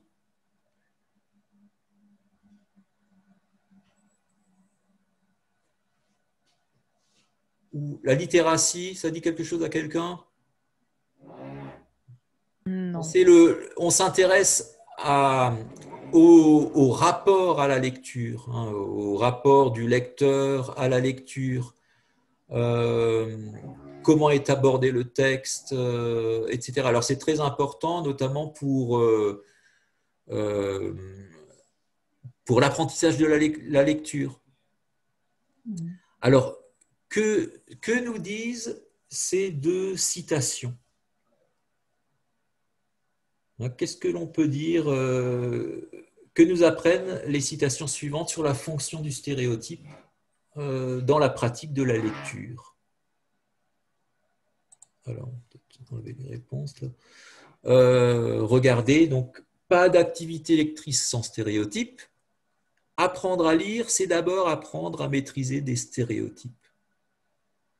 Alors, que peut-on dire de la fonction du stéréotype dans, les pratiques de lecture? Là, quand on est, dans, l'orientation, enfin dans la littératie, dans la manière dont on aborde le texte, en tenant compte du lecteur,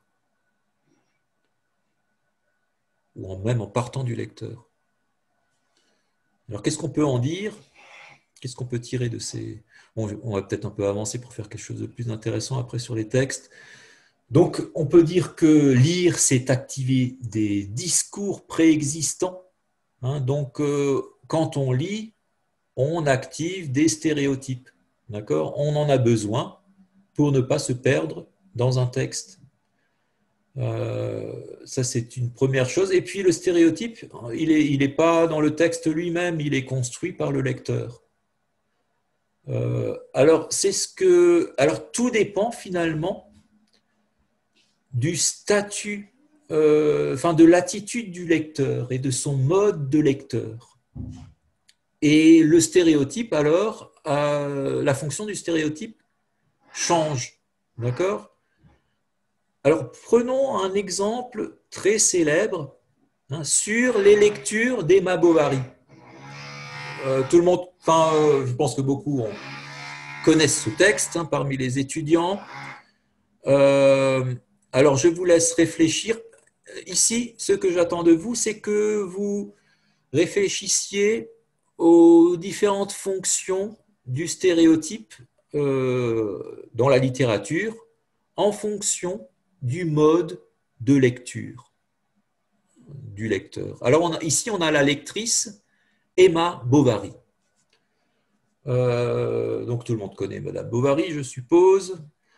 Alors, euh, de quoi est constituée la culture littéraire euh, d'Emma Bovary, enfin de la future Emma Bovary euh, Quelle est sa culture littéraire? Qu'est-ce qu'elle lit comme genre de, livre? Et quel est son mode de lecture? J'ai noté les lignes. Et puis, quel est le mode de lecture du narrateur, hein, qui prend du recul et qui commente les, lectures d'Emma. D'accord? Je ne sais pas s'il y a des étudiants de deuxième année ici. Enfin, on avait travaillé sur cet extrait. Donc d'abord, euh, de quoi est faite euh, la... De quoi sont... Euh, qu'est-ce qui constitue les lectures d'Emma? Qu'est-ce qu'elle lit comme genre de livres Qu'est-ce qu'elle a lu aussi euh, durant son adolescence, quand elle était au couvent? Alors, bon, euh, les étudiants, qu'est-ce qu'elle dit? Alors, regardez, ce n'était qu'amour, amant, amante, dame persécutée. Euh, bon, c'est vrai qu'il faudrait expliquer certains termes, hein, mais bon, vous aviez le temps de lire les extraits avant, chercher. Euh, de quel genre, quel genre de, de roman, hein, puisqu'il s'agit de romans, lit-elle Ce sont les romans de l'amour, je ne sais pas, euh, je ne sais pas comment précisément on les appelle. Bon, des romans d'amour, hein, il y en a beaucoup. Hein, euh, L'écume des jours, c'est aussi un roman d'amour. Euh, euh, quel, quel, type de roman d'amour Quel type de roman d'amour? Il y a le nom de Walter Scott, donc ça, ça pourrait vous préciser une chose. Voilà, on est dans le style romanesque, d'accord? Des romans d'aventure, d'amour. Des romans d'amour, disons, où euh, tout se passe bien. Euh, euh, des romans qu'on appellerait. C'est le romantisme. Il appartient au romantisme. Bon, on, romantisme. dans les cours romantisme, il y a le voisin qui a très le moment là pour faire des travaux.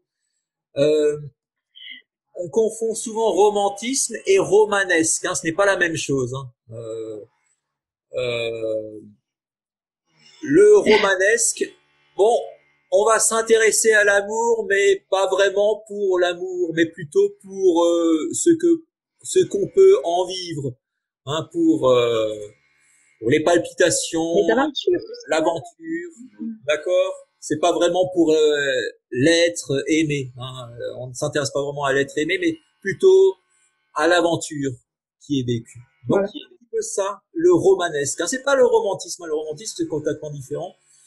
Voilà, on est dans. Le... À moins qu'on fasse la pause maintenant. Je sais pas jusqu'à quand. Vous entendez ce bruit euh, désagréable? Oui, euh, elle va dire.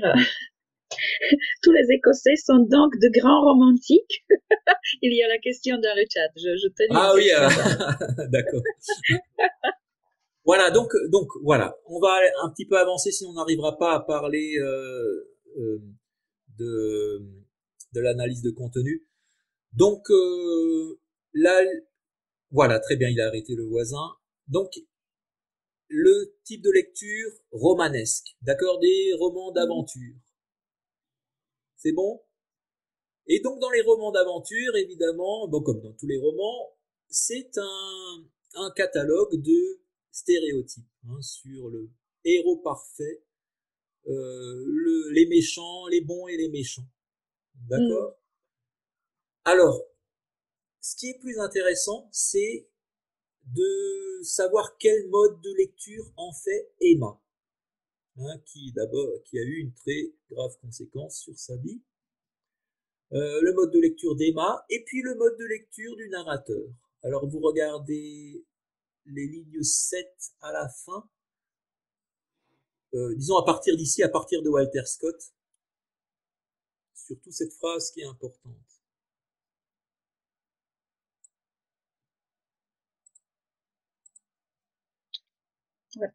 La dernière. Alors, quand elle lit ses romans d'aventure, euh, qu'est-ce qui se passe dans la tête d'Emma? Qu'est-ce qui se passe dans sa tête de jeune fille de 15 ans, innocente, entourée de religieuses? Alors, qu'est-ce qui se passe dans sa tête? Elle lit.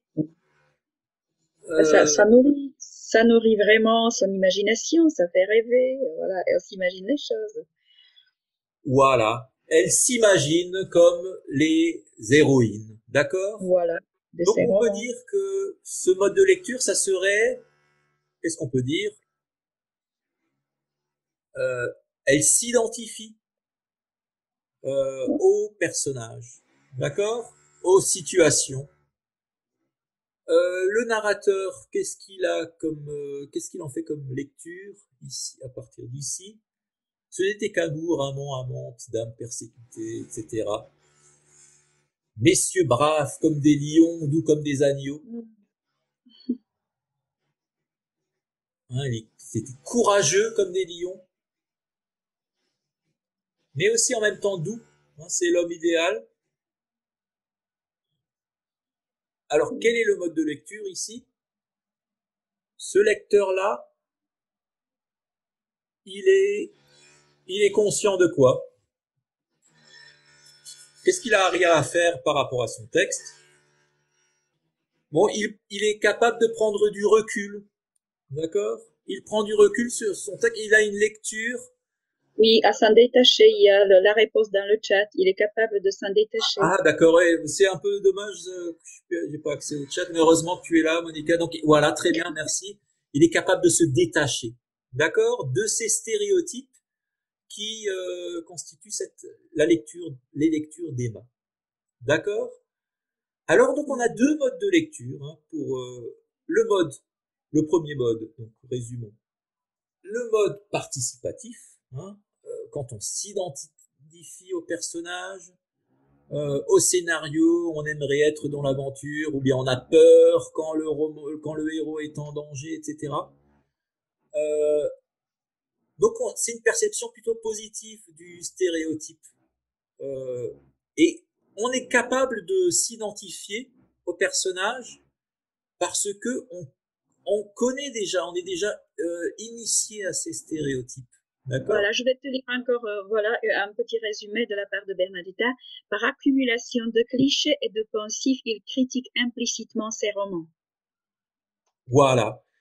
Et ça, c'est le, donc le deuxième mode de lecture, un, un regard critique, d'accord, sur euh, les stéréotypes. Euh, voilà. Alors, donc, il est bien aussi d'initier les, les étudiants donc à ces deux types de lecture parce que on fait, tout le monde fait en fait, pratique ces deux types de lecture.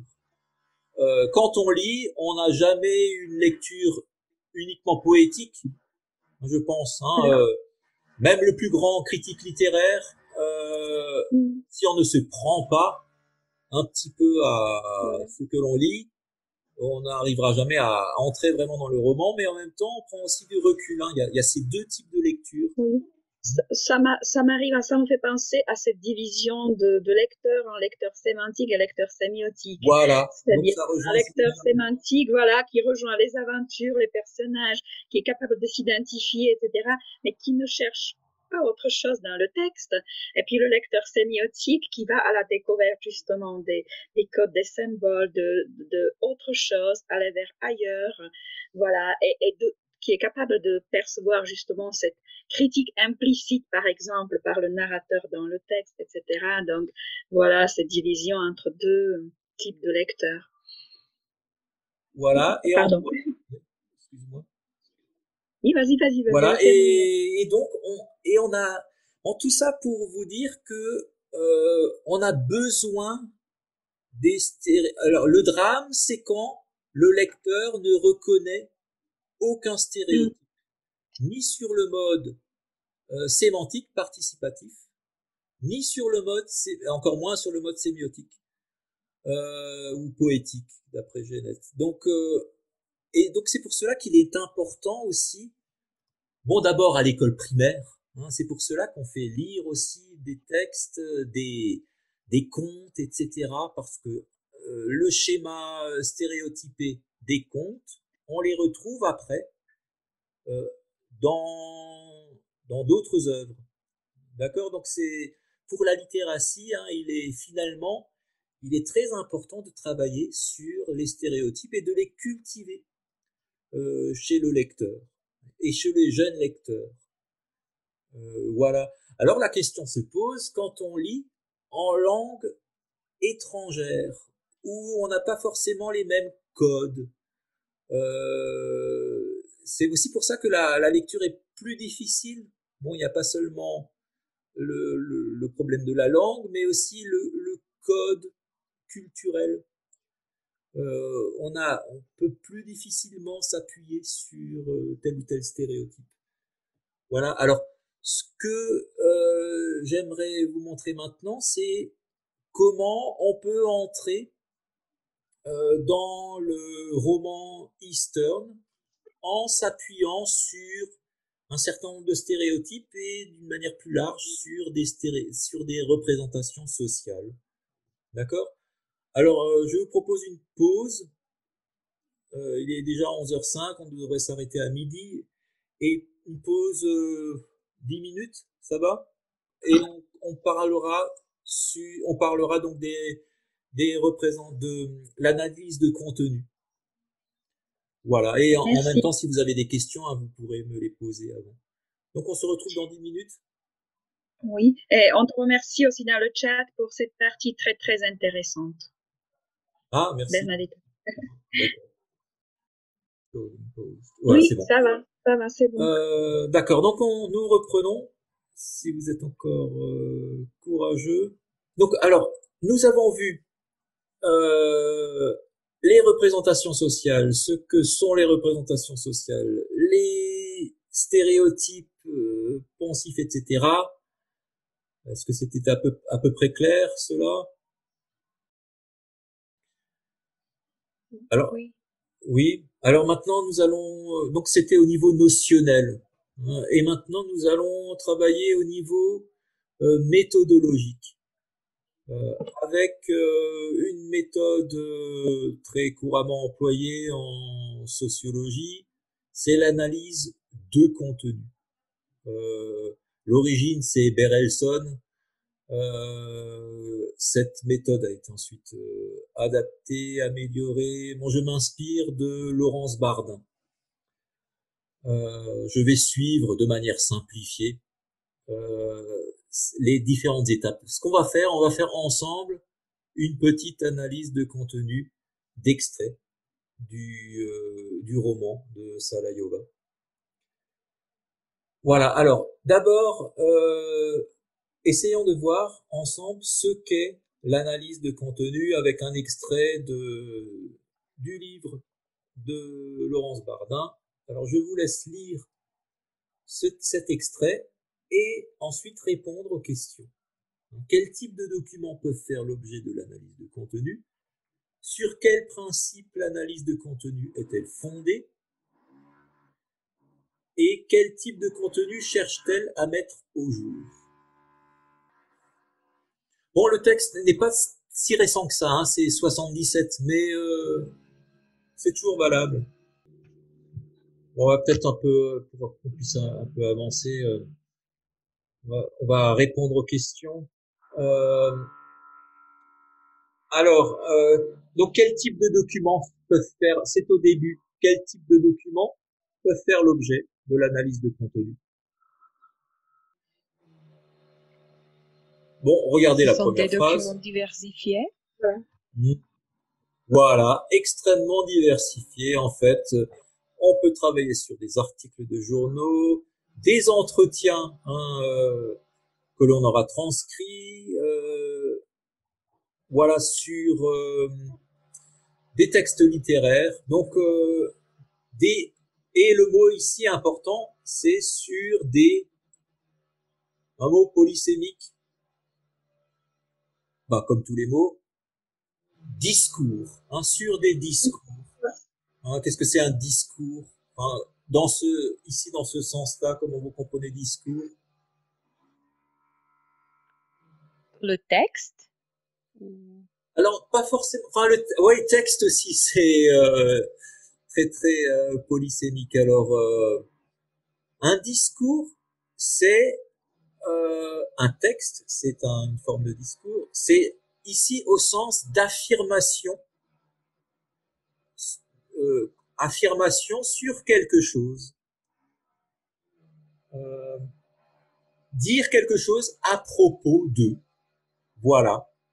On s'intéresse donc au, quel que soit le type de texte, au sens large, euh, l'optique de l'analyse de contenu, que c'est, c'est, on le considère comme une affirmation à propos de quelque chose. D'accord? Ce que l'on dit sur quelque chose. Voilà. Euh, donc tout type de, de texte au sens large, hein, texte, ça peut être enregistré, euh, donc sur des discours. Euh, le principe. Alors je souligne déjà le passage pour qu'on avance un peu. Les calculs de fréquence qui permettent d'extraire des structures modèles. Voilà, bon, il y a aussi les, la fréquence, voilà. Euh, alors, euh, on peut, on choisit les différents, les, critères sur lesquels on veut s'appuyer. Il y a le critère de fréquence, c'est vrai, mais c'est aussi euh, ambigu. Hein, ça dépend. Ça ne veut pas dire que qu'une affirmation qui ne vient pas souvent, ça ne veut pas dire qu'elle qu'elle n'est pas importante. Euh, voilà, c'est toute l'ambiguïté.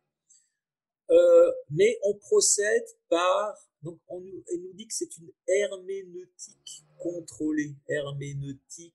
Hein, euh, c'est un terme compliqué. Je sais pas si les étudiants connaissent ce terme. Herméneutique. Oh, on les connaît, mais je, je, connais, mais je ne sais pas précisément absolu le définir maintenant. Voilà, on est ici dans l'interprétation. Il s'agit d'inter, pas, pas vraiment d'expliquer, mais d'interpréter. Donc, interpréter, interpréter, on interprète quand on s'appuie sur d'autres discours préexistants. Euh, et c'est ici la, le reste de la phrase que j'ai souligné, surligné, pardon, fondé sur la déduction, l'inférence. Alors la déduction, vous savez ce que c'est la déduction? C'est le contraire de l'induction, c'est-à-dire quand on applique une règle, d'accord? Donc ici, on va déduire de ce que l'on connaît déjà pour interpréter un discours. C'est ce qu'on appelle l'inférence. D'accord? Quand un texte renvoie à un autre texte. D'accord? Euh, Un discours renvoie à d'autres discours. Voilà, c'est un petit peu ça. On va trouver des traces de discours préexistants dans euh, le discours que l'on euh, cherche à interpréter. Voilà. ensuite, voilà, les types de contenu, bon, on a un petit peu répondu à ça. Oui, quel type de contenu est-ce qu'on essaie de mettre? Au jour Mettre au jour, c'est-à-dire que l'idée, c'est que euh, ces contenus ne sont pas apparents, tout de suite. D'accord? Il s'agit de les mettre au jour comme quand on euh, cherche un trésor et on va creuser la terre. D'accord L'ordinateur a quelques problèmes. Alors, où est-ce que vous voyez ça?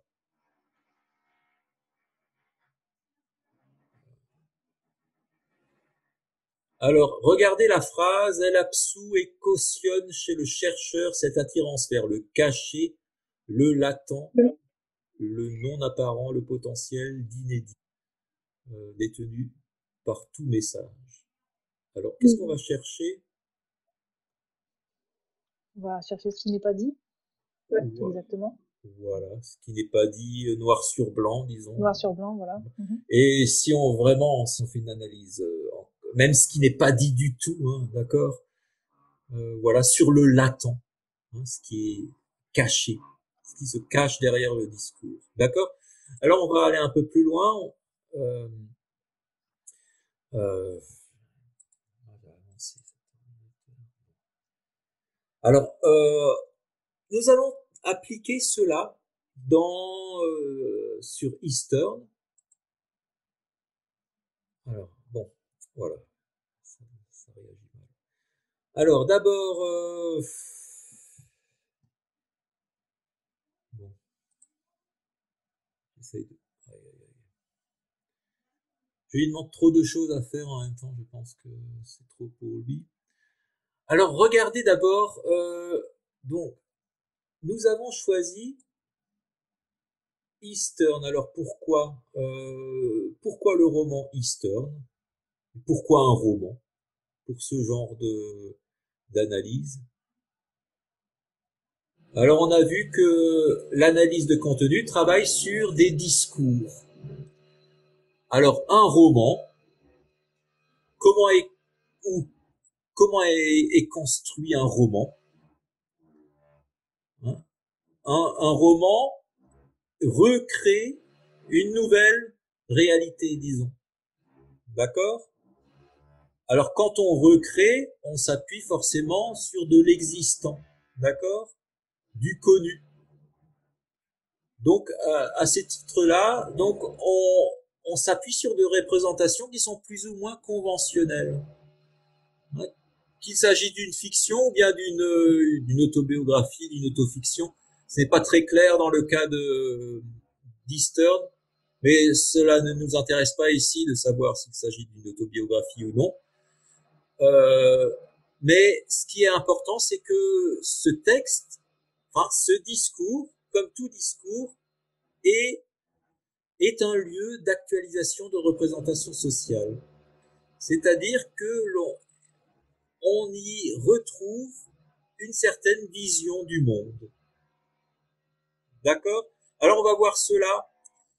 Euh, alors d'abord, euh, euh, essayons de, réfléchir sur les thématiques du roman Eastern.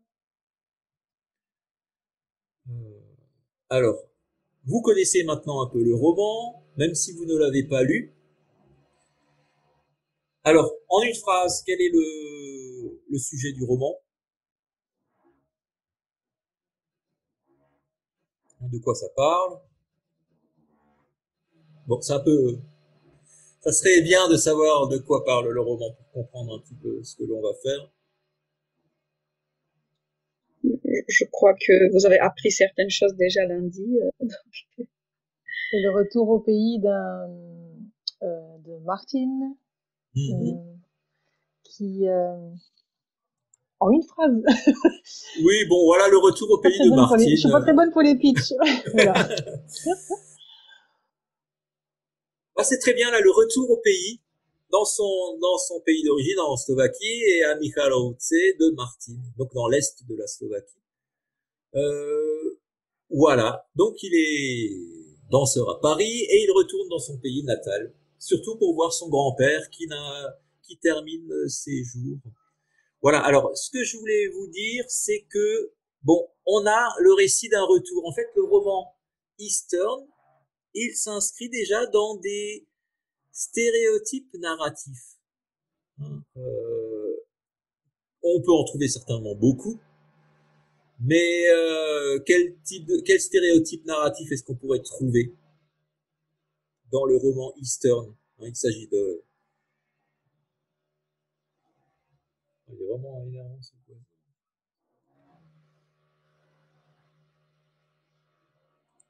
Alors, Bon, pour avancer un petit peu parce que le temps vraiment passe. Alors, vous, on pourrait en trouver d'autres. Hein. Euh, vous pourrez largement contester euh, ce que je dis, mais ce qui m'a frappé le plus, c'est d'abord on a le récit du retour au pays natal. On peut, alors ça c'est très important parce que le lecteur va réactualiser un certain nombre de schémas qu'il a lu ailleurs, hein, des, euh, des histoires de retour au pays natal. Et ce qui est aussi euh, curieux, bon, peut-être que ça n'a rien à voir, mais Martine revient dans son pays après 20 ans d'absence. Alors, euh, qui était parti pendant 20 ans? Après 10 ans. 10 ans, 10 ans. À 10 ans, à 10 ans, pardon, après 10 ans. Donc après une longue période. Euh, voilà, donc ça nous fait penser à l'archétype des romans de retour. On a Ulysse, enfin des romans, des, euh, récits de retour. Euh, voilà. Et on a aussi Martine, il est plus tout à fait. C'est un Parisien aussi quelque part, Martine. Voilà. Alors comme Monica nous l'avait aussi montré, il pose aussi un regard de Parisien sur sa famille, sur euh, la Slovaquie. D'accord? Donc on a aussi ce persan qui vient euh, à Michalaotse. D'accord euh, Ça nous fait penser par exemple aux lettres persanes ou à d'autres euh, récits de voyage à l'étranger ou dans un ou alors dans un pays inconnu, voilà, euh, ou bien les voyages de Gulliver par exemple, un pays curieux. Voilà, donc on va avancer un petit peu. Donc on a ces deux récits hein, qui, euh, euh, dans lesquels s'inscrivent les représentations hein, sur lesquelles euh, j'aimerais que l'on travaille euh, dans un instant. Euh, alors, celui qui rentre, qui revient au pays natal, Ulysse, il a envie de, retrouver Pénélope euh, tel qu'il il avait quitté. Il a envie de retrouver Télémaque et tout le monde, tout le, tout son, tout Ithaque, d'accord? Intact. C'est toujours ce que l'on ressent, hein. on veut retrouver son pays tel que l'on avait connu. Voilà, alors on peut se demander si les euh, nombreuses représentations euh, que l'on qui sont actualisées dans le texte ne sont pas une marque un petit peu de ce que l'on veut retrouver euh, inconsciemment. Et puis en même temps, on a le regard de l'étranger. Euh, sur la Slovaquie. Alors c'est très commode euh, de montrer un pays dans les yeux d'un étranger. Hein. Ça permet de d'avoir un autre regard. Voilà. Alors on va un petit peu avancer et nous avions, Monica, tu as déjà travaillé sur le titre. Alors, que vous évoque C'est pas grave, on fait de la révision. Que vous évoque Eastern, le titre Eastern, qu'est-ce que ça vous évoque? Là aussi, c'est évocateur pour un certain nombre de stéréotypes euh, fictionnels.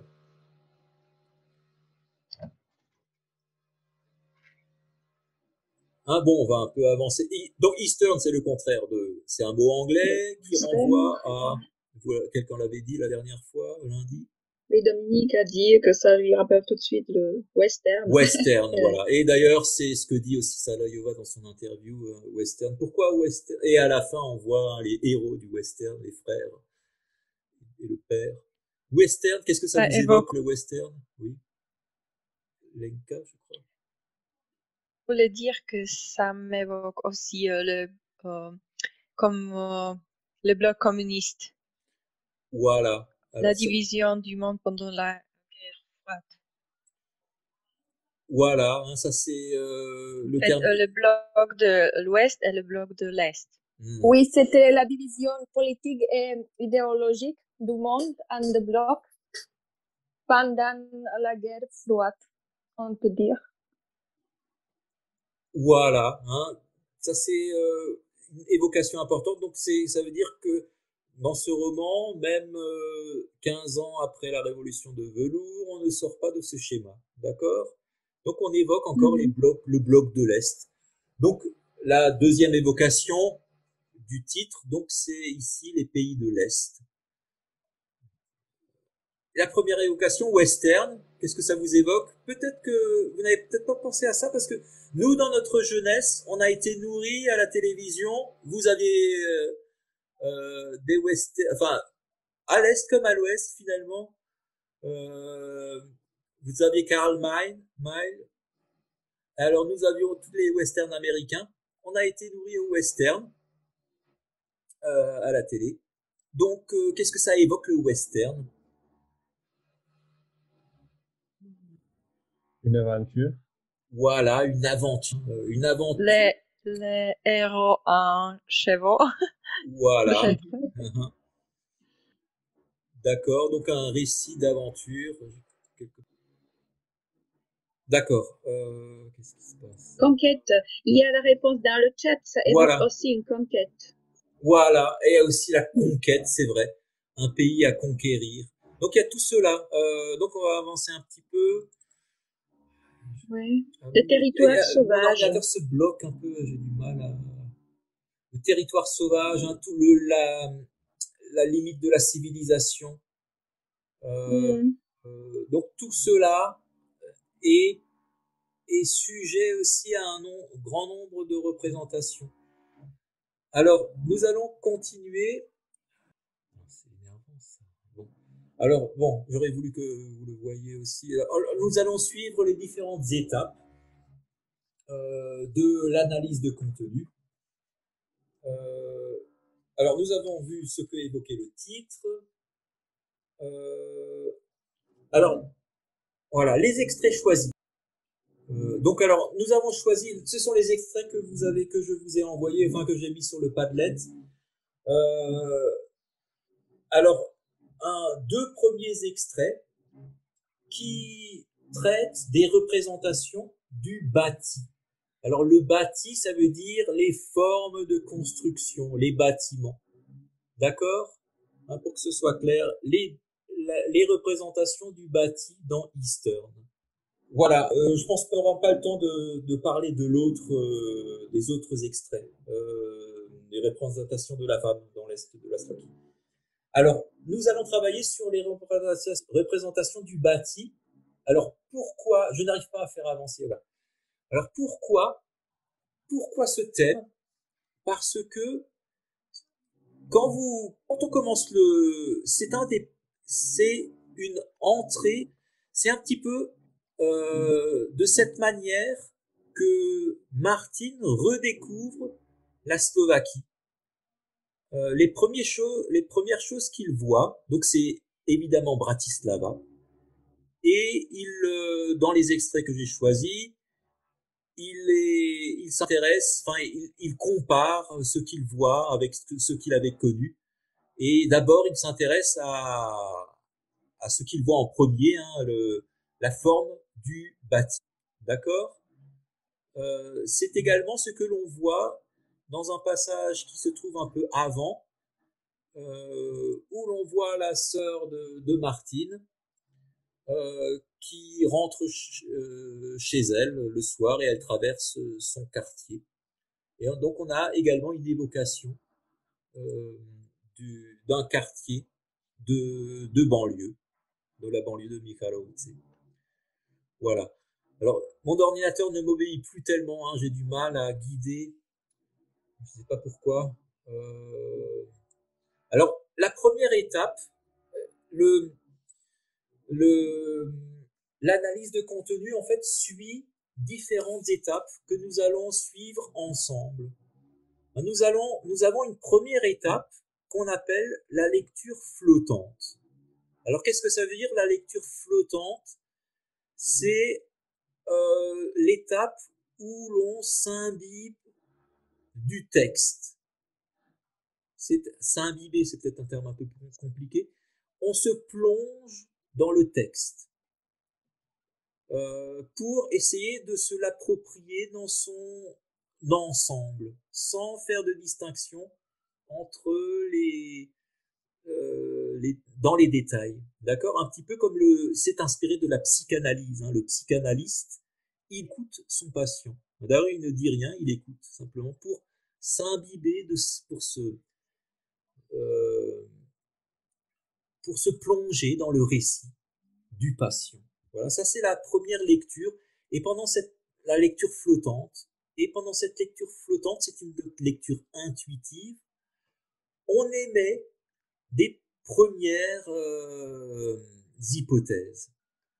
D'accord? Euh, C'est ce qu'on va faire euh, maintenant. Ensuite suivra le, codage et la catégorisation, on verra ça tout de suite. Mais si cet ordinateur se calme, je pourrais aller un peu plus loin. Tout marchait bien jusqu'à présent. Nereagouye, ça c'est un, terme que je déteste. Nereagouye.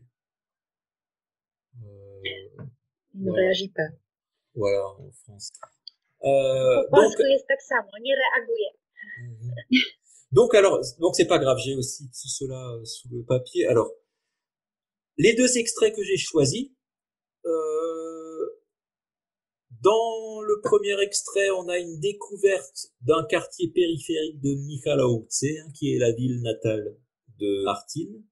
Et dans le deuxième extrait que vous aviez, avez pu télécharger, on a eu un aperçu de Bratislava, euh, où Martin a fait ses études. Euh, donc à chaque fois, on a un peu un regard étranger de celui qui revient au pays, qui est jeté sur le, le bâti et sur le mobilier urbain euh, slovaque. Donc, si, on, si on pratique la lecture flottante, donc on peut émettre des, euh, des hypothèses. Euh, alors, la première hypothèse, on peut émettre une hypothèse générale. On n'a pas le temps de le, faire ensemble parce qu'il faudrait que vous lisiez et que vous réfléchissiez au texte. Bon. Parce que si tu veux, je peux au moins faire euh, pour qu'ils puissent lire euh, les extraits éventuellement. Bah, les extraits, vous devrez les avoir. Euh, donc, alors prenez les, les extraits 1 et 2. Est-ce que vous les avez? Sur le Padlet. Euh, Ouais, ben vous, vous avez bien le temps de. Bon, euh... bon, en fait, bon, je vais vous raconter ça euh, comme cela et peut-être que ça va remarcher entre temps. Donc, euh, on émet des, des hypothèses d'abord, et l'hypothèse que qu'on peut émettre,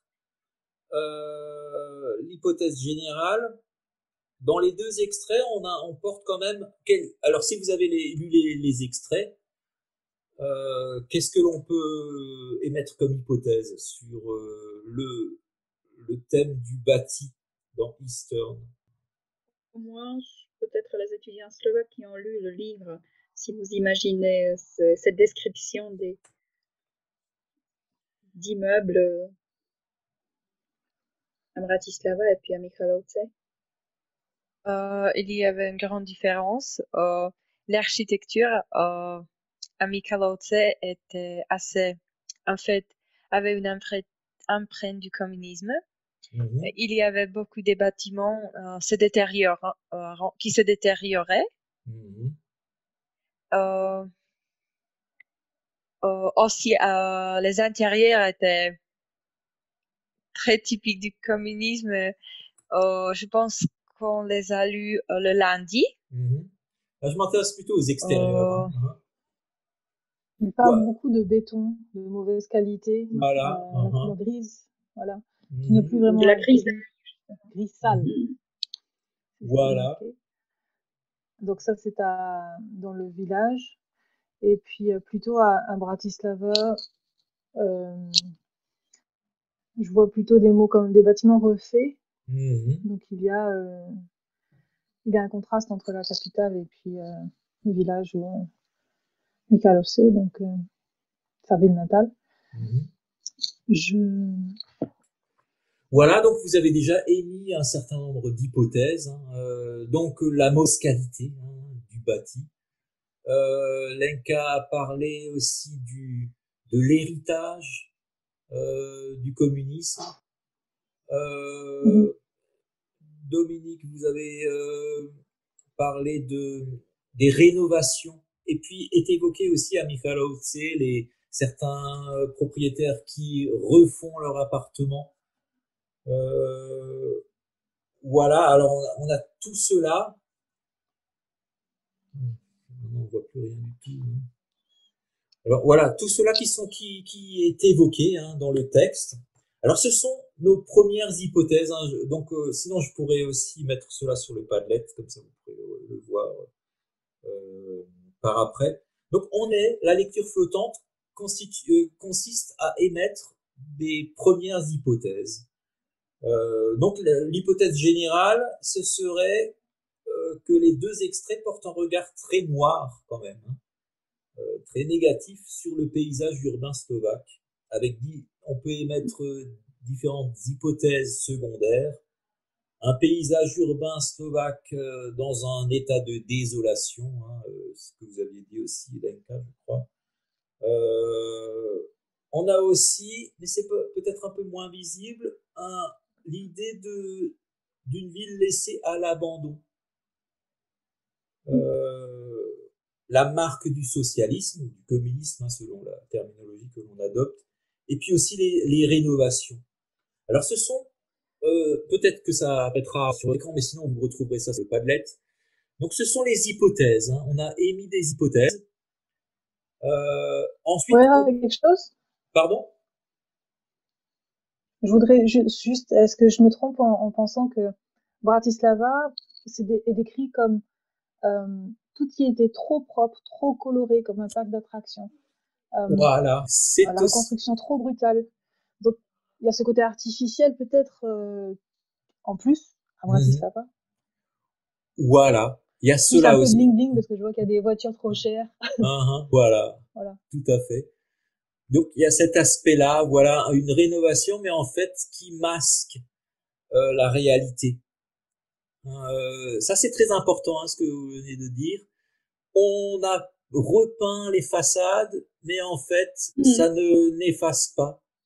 Euh, c'est simplement un cache-misère, voilà, tout à fait, très bien. Mmh. voilà, et justement, quand on passe aux étapes suivantes de l'analyse de contenu, on on remarque que euh, on a cet de la représentation du bâti slovaque est, est très présent hein, dans le texte. Euh, donc on a émis les, les différentes hypothèses. Donc ça veut dire à quoi ça sert? C'est une manière de s'imprégner du texte, euh, d'avoir déjà une vision générale du texte, et maintenant, nous allons le travailler de manière beaucoup plus, euh, disons, systématique. Euh. Alors, la deuxième étape, j'aurais voulu vous montrer euh, comment ça, on, le reproduit, mais ce n'est pas grave, vous retrouverez cela sur le Padlet. La deuxième étape, c'est le codage. Alors, de quoi s'agit-il? En fait, c'est la méthode euh, ciseaux, colle. À l'époque, quand on n'avait pas d'ordinateur, on... la transcription d'un entretien était découpée ensuite en unités d'enregistrement. Euh... J'espère que vous m'entendez encore, hein, parce que le, système a l'air complètement bloqué. Vous m'entendez? Oui, oui. oui, très bien, donc c'est l'essentiel. Oui. Alors, donc, on découpe le texte en unités d'enregistrement. Alors, de quoi s'agit-il? Une unité d'enregistrement, c'est en fait euh, toutes les affirmations sur le thème, le bâti en Slovaquie, hein, tout ce que l'on dit. Donc, on va euh, isoler en fait des on va isoler de, des petites euh, euh, portions du texte hein, que l'on retire du reste. Alors, euh, cela peut, cela peut ne constituer qu'un seul mot, ou bien une, un, bout de phrase, euh, un extrait de phrase, d'accord? Donc on aura un certain, on aura découpé le texte en ce qu'on appelle euh, des unités d'enregistrement. Hein, ce sont comme des, des pièces de puzzle. Le critère est le critère sémantique. Euh, chaque unité d'enregistrement est une affirmation sur le thème général. D'accord? Donc, on, aura le texte. J'aurais voulu, voulu, vous le montrer, mais là, ça ne fonctionne toujours pas mieux. Donc on aura le texte découpé en un ensemble d'unités d'enregistrement. D'accord? Qui sont des affirmations sur le thème. Euh, et alors, à partir de ce moment, on ne tient plus compte du reste. Euh, du reste du texte qui ne dit rien sur le thème qui nous intéresse. D'accord? Hein, donc on aura découpé dans notre texte des, extraits du texte. Cela, à quoi ça sert? Cela euh, permet de nous centrer sur la thématique. D'accord? Alors qu'est-ce qu'on fait par après? Euh, C'est pénible, c'est complètement bloqué. Vous m'entendez au moins? Oui. Voilà, donc ça c'est l'essentiel, mais je n'arrive plus à bouger le curseur. Euh, voilà, donc c'est pas grave, je vous explique cela euh, à l'oral. Donc ensuite, la deuxième étape, enfin la troisième étape, puisqu'on avait la lecture flottante, euh, la, le codage, je parle fort à cause du voisin, et la troisième étape, c'est la catégorisation. Nos petites unités euh, d'enregistrement hein, Ce sont ces morceaux de phrases que l'on a découpés, on les regroupe sous des catégories. c'est-à-dire qu'on les regroupe en fonction de sous-thèmes communs. Alors, par exemple, ah, c'est dommage, je ne l'ai pas imprimé ici. Euh, on aura différents sous-thèmes en fonction de ce qu'elles portent en commun. Par exemple, qu'est-ce que j'avais, j'avais, j'ai tout sur l'ordinateur en fait. Euh, par exemple, euh, on avait, euh, oui, l'État. On a, si vous regardez bien le texte, on a on a plusieurs unités de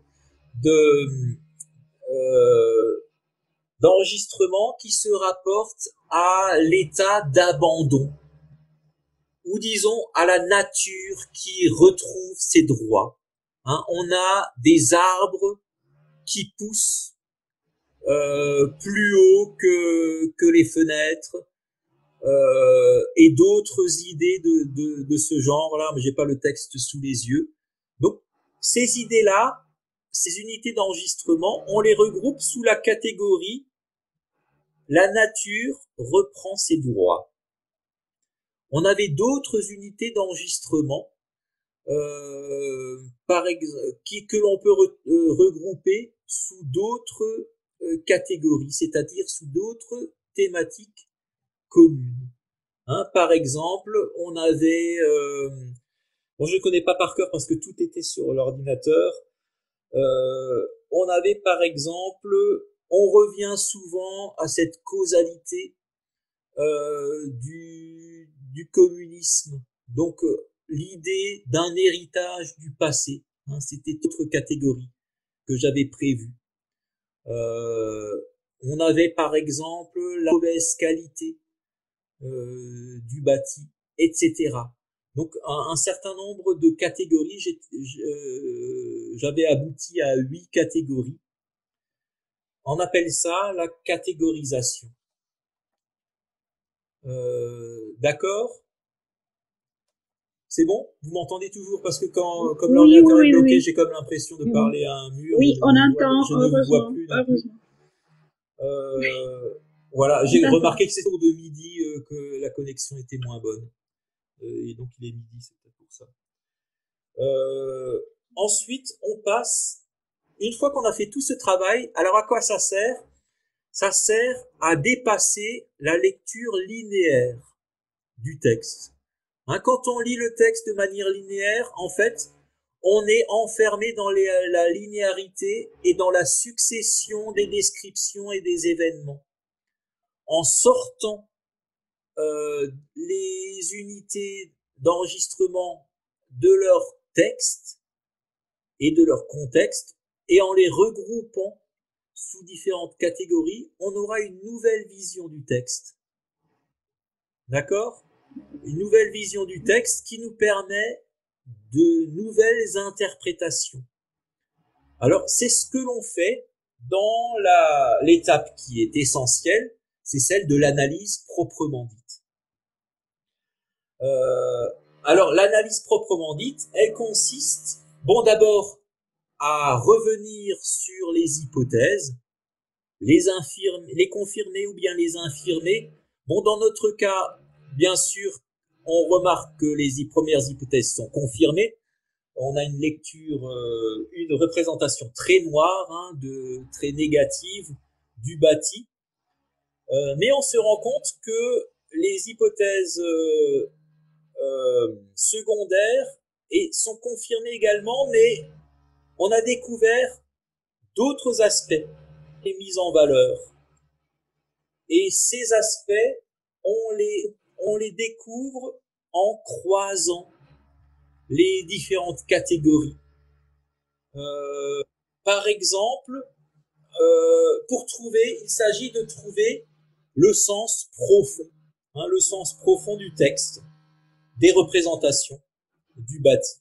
Qu'est-ce qu'elle signifie au juste pour le lecteur et aussi pour euh, le narrateur?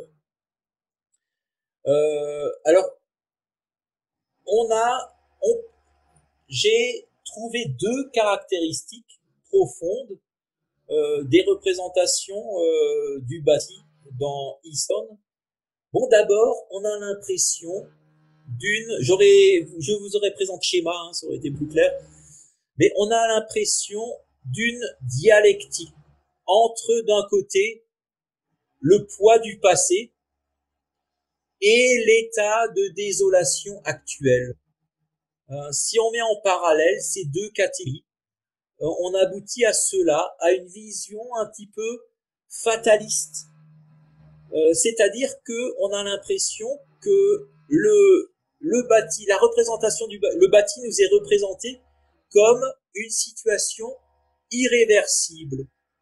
On, il est impossible de se détacher de ce passé. Euh, ça, c'est la première caractéristique à laquelle j'étais, euh, j'avais abouti. La deuxième, on a, parmi les catégories que j'aurais voulu vous montrer, on avait la nature qui reprend ses droits. On avait aussi euh, le l'impression que bon, euh, la sœur de Martine, j'ai oublié son nom, euh, la sœur de Martine rentre chez elle. Ivana, voilà, merci.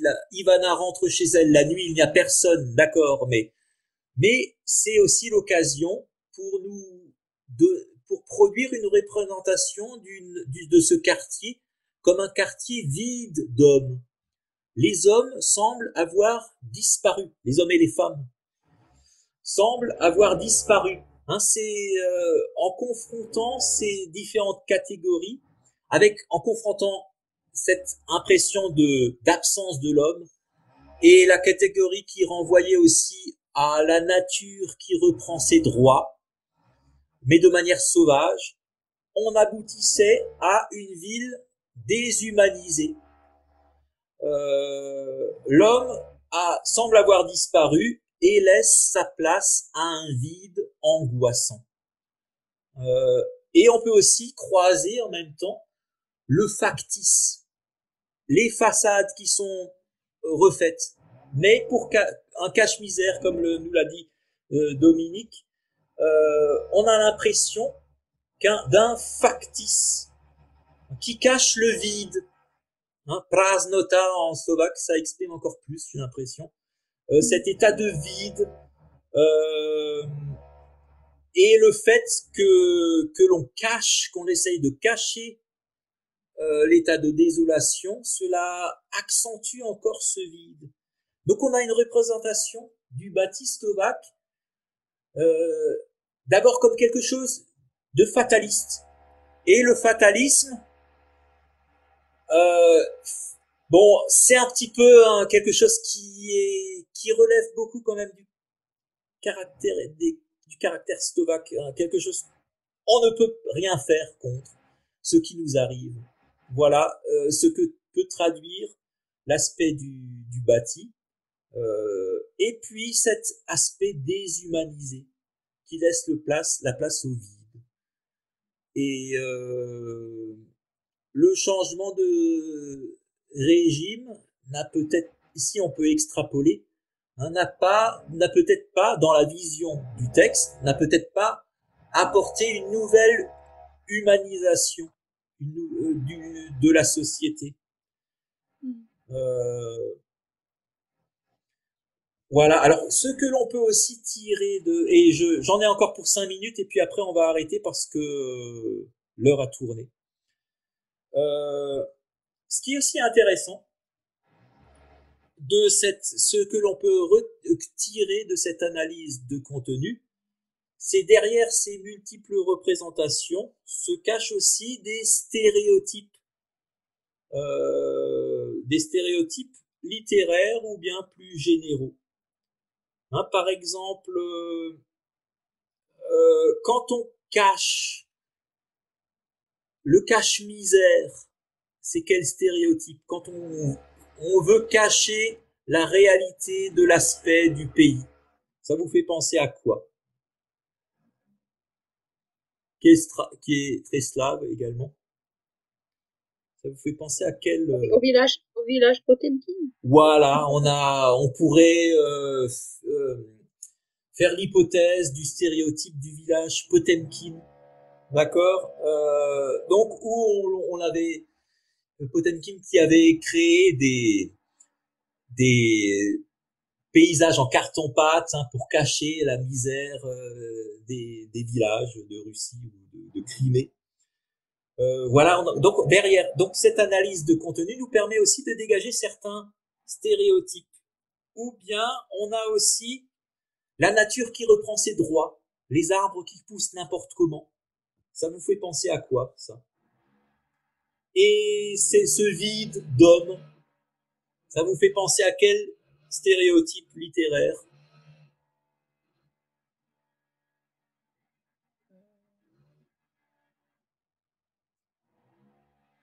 À la Robinsonade Peut-être aussi à la Robinsonade, c'est vrai. Euh, c'est aussi Dominique qui dit Robinson.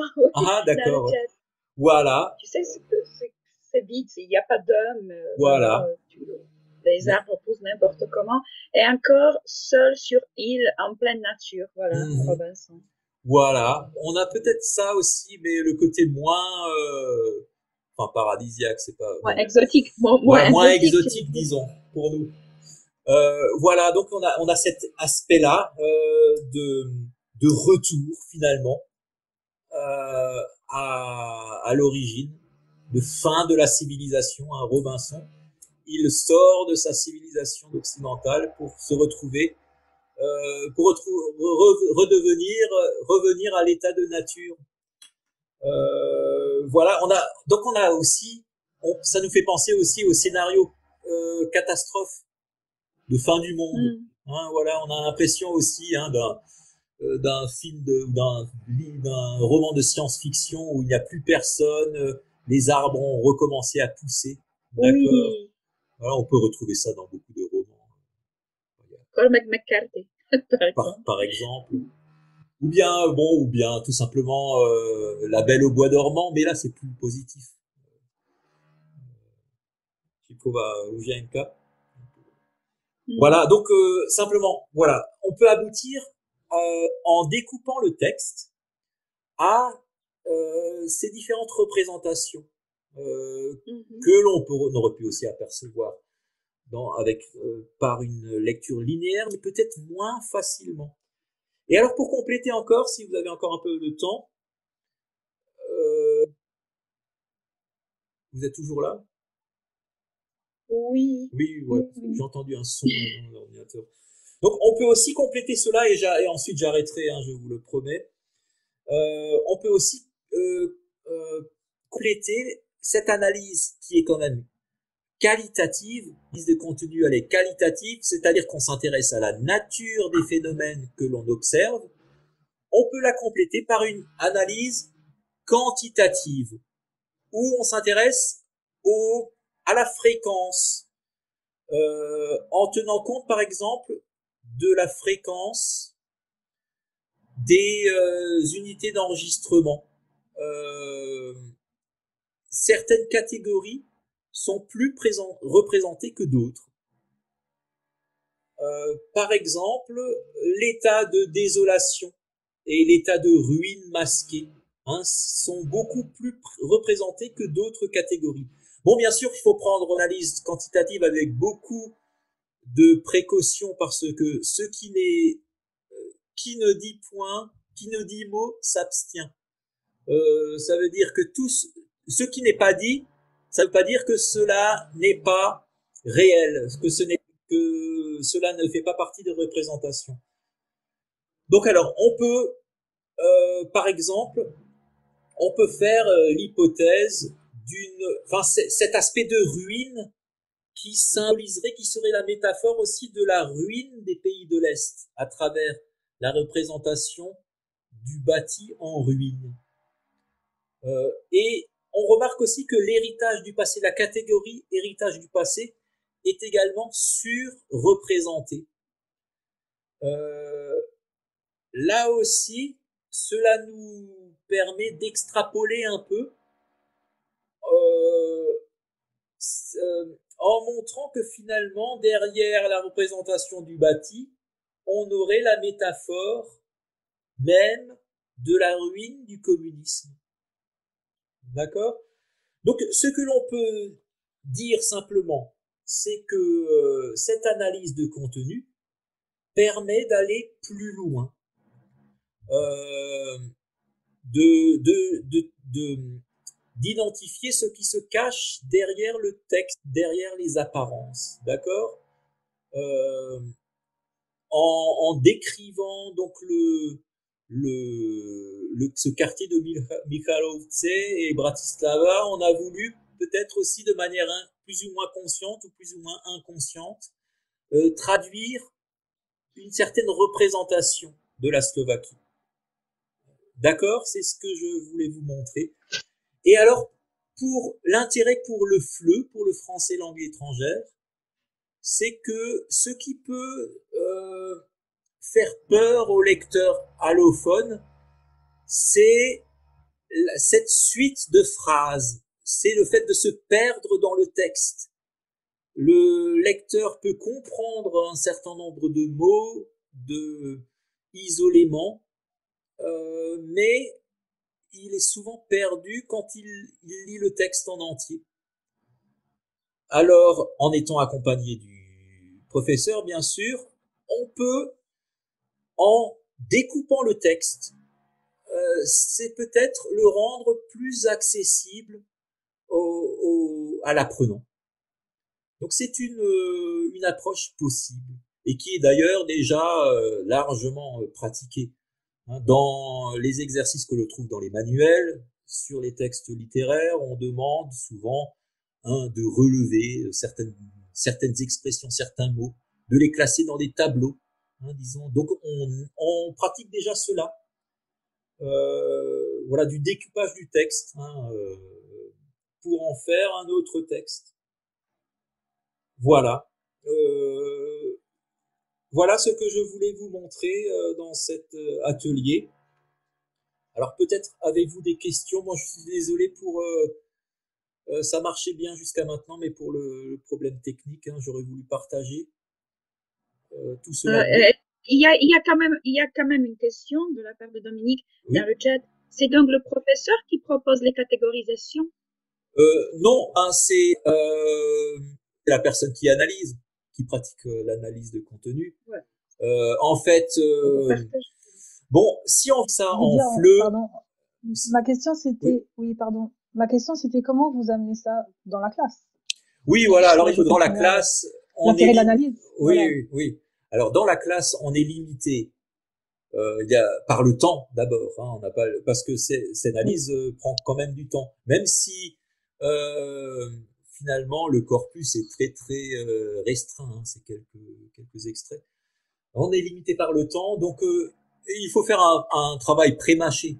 Hein, c'est ce que nous propose aussi euh, les activités des manuels. On a on a des activités qui sont pré-préparées en fait. Hein, et l'on guide. Donc il faudrait guider l'apprenant. Donc il faudrait que vous fassiez déjà vous-même évidemment l'analyse, Mhm. et que vous, le plus le plus intéressant, c'est c'est l'analyse, la dernière analyse à partir des différentes catégories. Mais donc il faudrait déjà proposer un certain nombre de catégories hein, pour faciliter le travail de l'apprenant. Euh, à lui, par exemple, de classer euh, les différents énoncés du texte dans, sous la forme d'un tableau, euh, sous, les, sous différents titres génériques. En fait, les catégories, ce sont des titres génériques qui correspondent aux différentes unités d'enregistrement. Donc, si vous voulez appliquer cela en classe, ce que vous pouvez faire, c'est prévoir déjà les catégories, euh, ou alors faire l'inverse, euh, déjà mettre, euh, souligner les unités d'enregistrement dans le texte et demander aux apprenants de, les regrouper thématiquement. On peut faire l'un ou l'autre, mais les deux, enfin, on n'aurait pas le temps. Et alors après, ce qui est plus intéressant, essayer de. Ensuite, on travaille sur les catégories, parce qu'en fait, on simplifie un petit peu la, lecture du texte. Euh, D'abord, on, ne retient que les unités d'enregistrement, et ensuite, à la fin, on ne retient que les catégories. après, on ne travaille qu'à partir des catégories et en réfléchissant, en croisant les différentes catégories. Pourquoi on a en même temps état, état de désolation et héritage du passé euh, quel est le rapport entre les deux, d'accord? Les réfléchir au rapport entretenu entre les différentes catégories pour parvenir à une à des résultats, hein, parce que la dernière étape, ce sont euh, des, ça reste très très subjectif, hein, vous, le direz, mais on parvient à une nouvelle lecture, d'accord? Et on aura dégagé euh, donc les principales représentations ici du bâti. Euh. Voilà, donc euh, je pense avoir répondu à votre question. Donc ça serait, il faudrait préparer, comme tous les, toutes les autres activités, hein, quand vous faites un exercice d'écoute, c'est pareil, vous demandez à, vos apprenants de, se concentrer sur tel ou tel aspect, vous leur demandez de remplir des tableaux, euh, sur ce qu'ils entendent, vous prémâchez aussi le travail. Donc là, c'est pareil. hein. C'est les fameuses fiches pédagogiques. Là, vous, vous ferez une fiche pédagogique en introduisant cette approche-là, euh, tout simplement. Mais cela ne vous empêche pas de, de combiner cela, et ça serait beaucoup plus intéressant avec une approche plus classique, plus proche du commentaire littéraire. Ben, tout, tout dépend aussi du type d'extrait que vous choisissez. Merci. Euh, est-ce qu'il y a, y a-t-il encore d'autres questions? Quels seraient les objectifs communicatifs auxquels on pourrait euh, adjoindre ce type de, travail? Qu'est-ce que ça, d'après toi, qu'est-ce que ça permet de développer au niveau des compétences communicatives comprises très largement? Voilà, c'est vrai que l'objectif est quand même de faire communiquer, bon, pas forcément, mais bon, ici, l'objectif serait quand même euh, socioculturel, disons, hein, pour euh, au sens, enfin, pour développer euh, la compétence culturelle de l'apprenant, c'est-à-dire sa capacité à lire ou à à lire un document et à en tirer des informations sur la culture euh, cible, disons. Euh, ou alors sur la vision de, enfin, voilà. Donc le premier objectif serait quand même euh, le développement de la compétence culturelle, c'est-à-dire savoir trouver des, tirer des informations d'un certain nombre de documents. Mais euh, au niveau cognitif, alors, euh, bon, après, il y a aussi, euh, bon, on peut, on peut faire communiquer l'apprenant sur toutes les évocations. bon, lui, d'abord, mobiliser son patrimoine stéréotypique, on peut dire. Euh, l'apprenant a lu dans sa vie quelques livres. Euh, donc cela peut aussi entrer, euh, donner l'occasion d'une discussion sur, par exemple, les, les les, les, les stéréotypes du des différents, les différents récits, les différents stéréotypes de récits, par exemple, ou bien par rapport, euh, bon, c'est beaucoup plus classique, une discussion sur les stéréotypes euh, par rapport à ses propres stéréotypes. Est-ce qu'il est retrouve ici les ses propres stéréotypes euh, dans ce qui a été découvert euh, dans le texte analysé? Donc il y a euh, multiples. Bon, à, à chaque fois, c'est vrai que ce sont des prétextes. Hein. Euh, ce que l'on reproche souvent à, ces approches, c'est que on, on, va travailler sur la culture, mais pour, faire, pour en faire un prétexte à la discussion.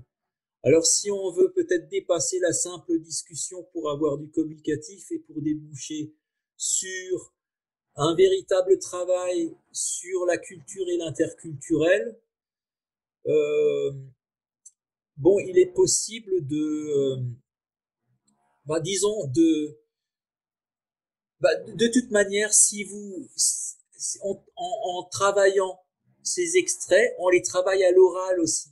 Donc euh, tout le processus suivi sera déjà euh, une activité de communication, d'accord? Et, et en verbalisant justement le fait de verbaliser les impressions du, de l'apprenant sur le texte, c'est une manière aussi de faire sortir ses propres représentations. Donc, euh, en fait, tout ce travail-là, on peut, il y a une partie à l'oral, une, une, partie à l'écrit, bien sûr, de, de, de, préparation, mais après la mise en main et une grande partie du travail sera réalisée à l'oral. Euh, et donc, euh, on aura atteint un certain objectif euh, communicatif, mais en allant plus loin aussi, euh, en travaillant sur la verbalisation des représentations de, de l'apprenant. Alors, euh, le mieux, c'est de ne pas travailler uniquement sur, sur un extrait euh, de littérature, mais de le combiner avec d'autres documents qui peuvent euh, actualiser des représentations et cela permettra alors de confronter les deux. Donc on aura un travail de, de comparaison, de confrontation, hein, qui seront quand même euh, communicatives. Bon, bien sûr, c'est pas c'est pas une activité communicative au sens euh, de reproduction d'une euh, d'une situation réelle de communication à l'étranger mais euh, on aura créé un véritable échange dans la classe. Voilà. Alors, alors se pose aussi, euh, selon le niveau, la langue hein, de, des échanges. Hein, en quelle langue hein, Parce que là, on, on atteint quand même un niveau assez complexe. Euh, voilà. Alors, voilà, là, c'est aussi plutôt une question. Hein, en quelle langue Alors, l'objectif, c'est quand même de faire communiquer les apprenants en français la langue cible, euh, on serait peut-être quand même amené également à combiner la langue maternelle. D'accord? Mais la langue maternelle, euh, elle n'est plus bannie euh, maintenant du cours de FLE. Voilà, donc il y a quand même du communicatif. C'est pas au, sens strict, mais il y a des activités communicatives possibles. Voilà, je ne sais pas si j'ai répondu à ta question, Bernadetta. Oui, oui, enfin, euh, parfaitement. Enfin, quand je pensais aux, compétences de communication, je ne pensais pas uniquement au communicatif au sens de ah ah. d'échange, mais, mais, plutôt au sens très large des compétences de communication, c'est-à-dire y compris les, les, compétences de médiation ou euh, des compétences ah, d'interaction avec les autres. Enfin, en tout cas, de, donc les compétences culturelles ou interculturelles seraient comprises dans ces compétences de communication en quelque sorte. Oui, c'est une vision très large euh, euh, à laquelle je faisais référence, mais je suis d'accord avec toi. Enfin, si je comprends bien, le fait de, euh, de, de dégager ces différentes unités d'enregistrement, de catégories, des, des références aux stéréotypies littéraires, autres et, et des stéréotypes sociaux, ça permettrait à l'apprenant de mieux comprendre le fait que, c'est un monde qui est reconstruit en fait et qui, donc euh, est, et donc qui est sujet à certains à une certaine schématisation et donc on peut pas le prendre en tant que reflet euh, exact de la réalité. C'est ça que qui me tiendrait à cœur, c'est-à-dire vraiment d'amener l'apprenant à, à considérer ce texte comme, euh, comme une reconstruction de la réalité, mais, mais une reconstruction subjective et une reconstruction qui est quand même sujette à, à, à des projets soit littéraires, soit, euh, euh, soit idéologiques, parce que quand on parle de Javal, par exemple, j'ai l'impression qu'il y a quand même un engagement euh, politique, oui, bien sûr. par uh-huh. exemple, chez cet, cet auteur. Mm-hmm. Et donc, et donc, je crois que c'est ça qui me, me paraît intéressant sans valoriser ça, forcément, mais de, de juste d'arriver euh, à, à, à, constater que ça, que, quand, il y a ces, ces schémas qui fonctionnent et qu'il faut en tenir compte également dans la communication, je veux dire euh, dans la lecture, dans la compréhension, dans la communication euh, de manière large. Et, je pense que la proposition, justement, par le fait de, déconstruire le texte, en quelque sorte, permet d'arriver à cette sensibilité au construit.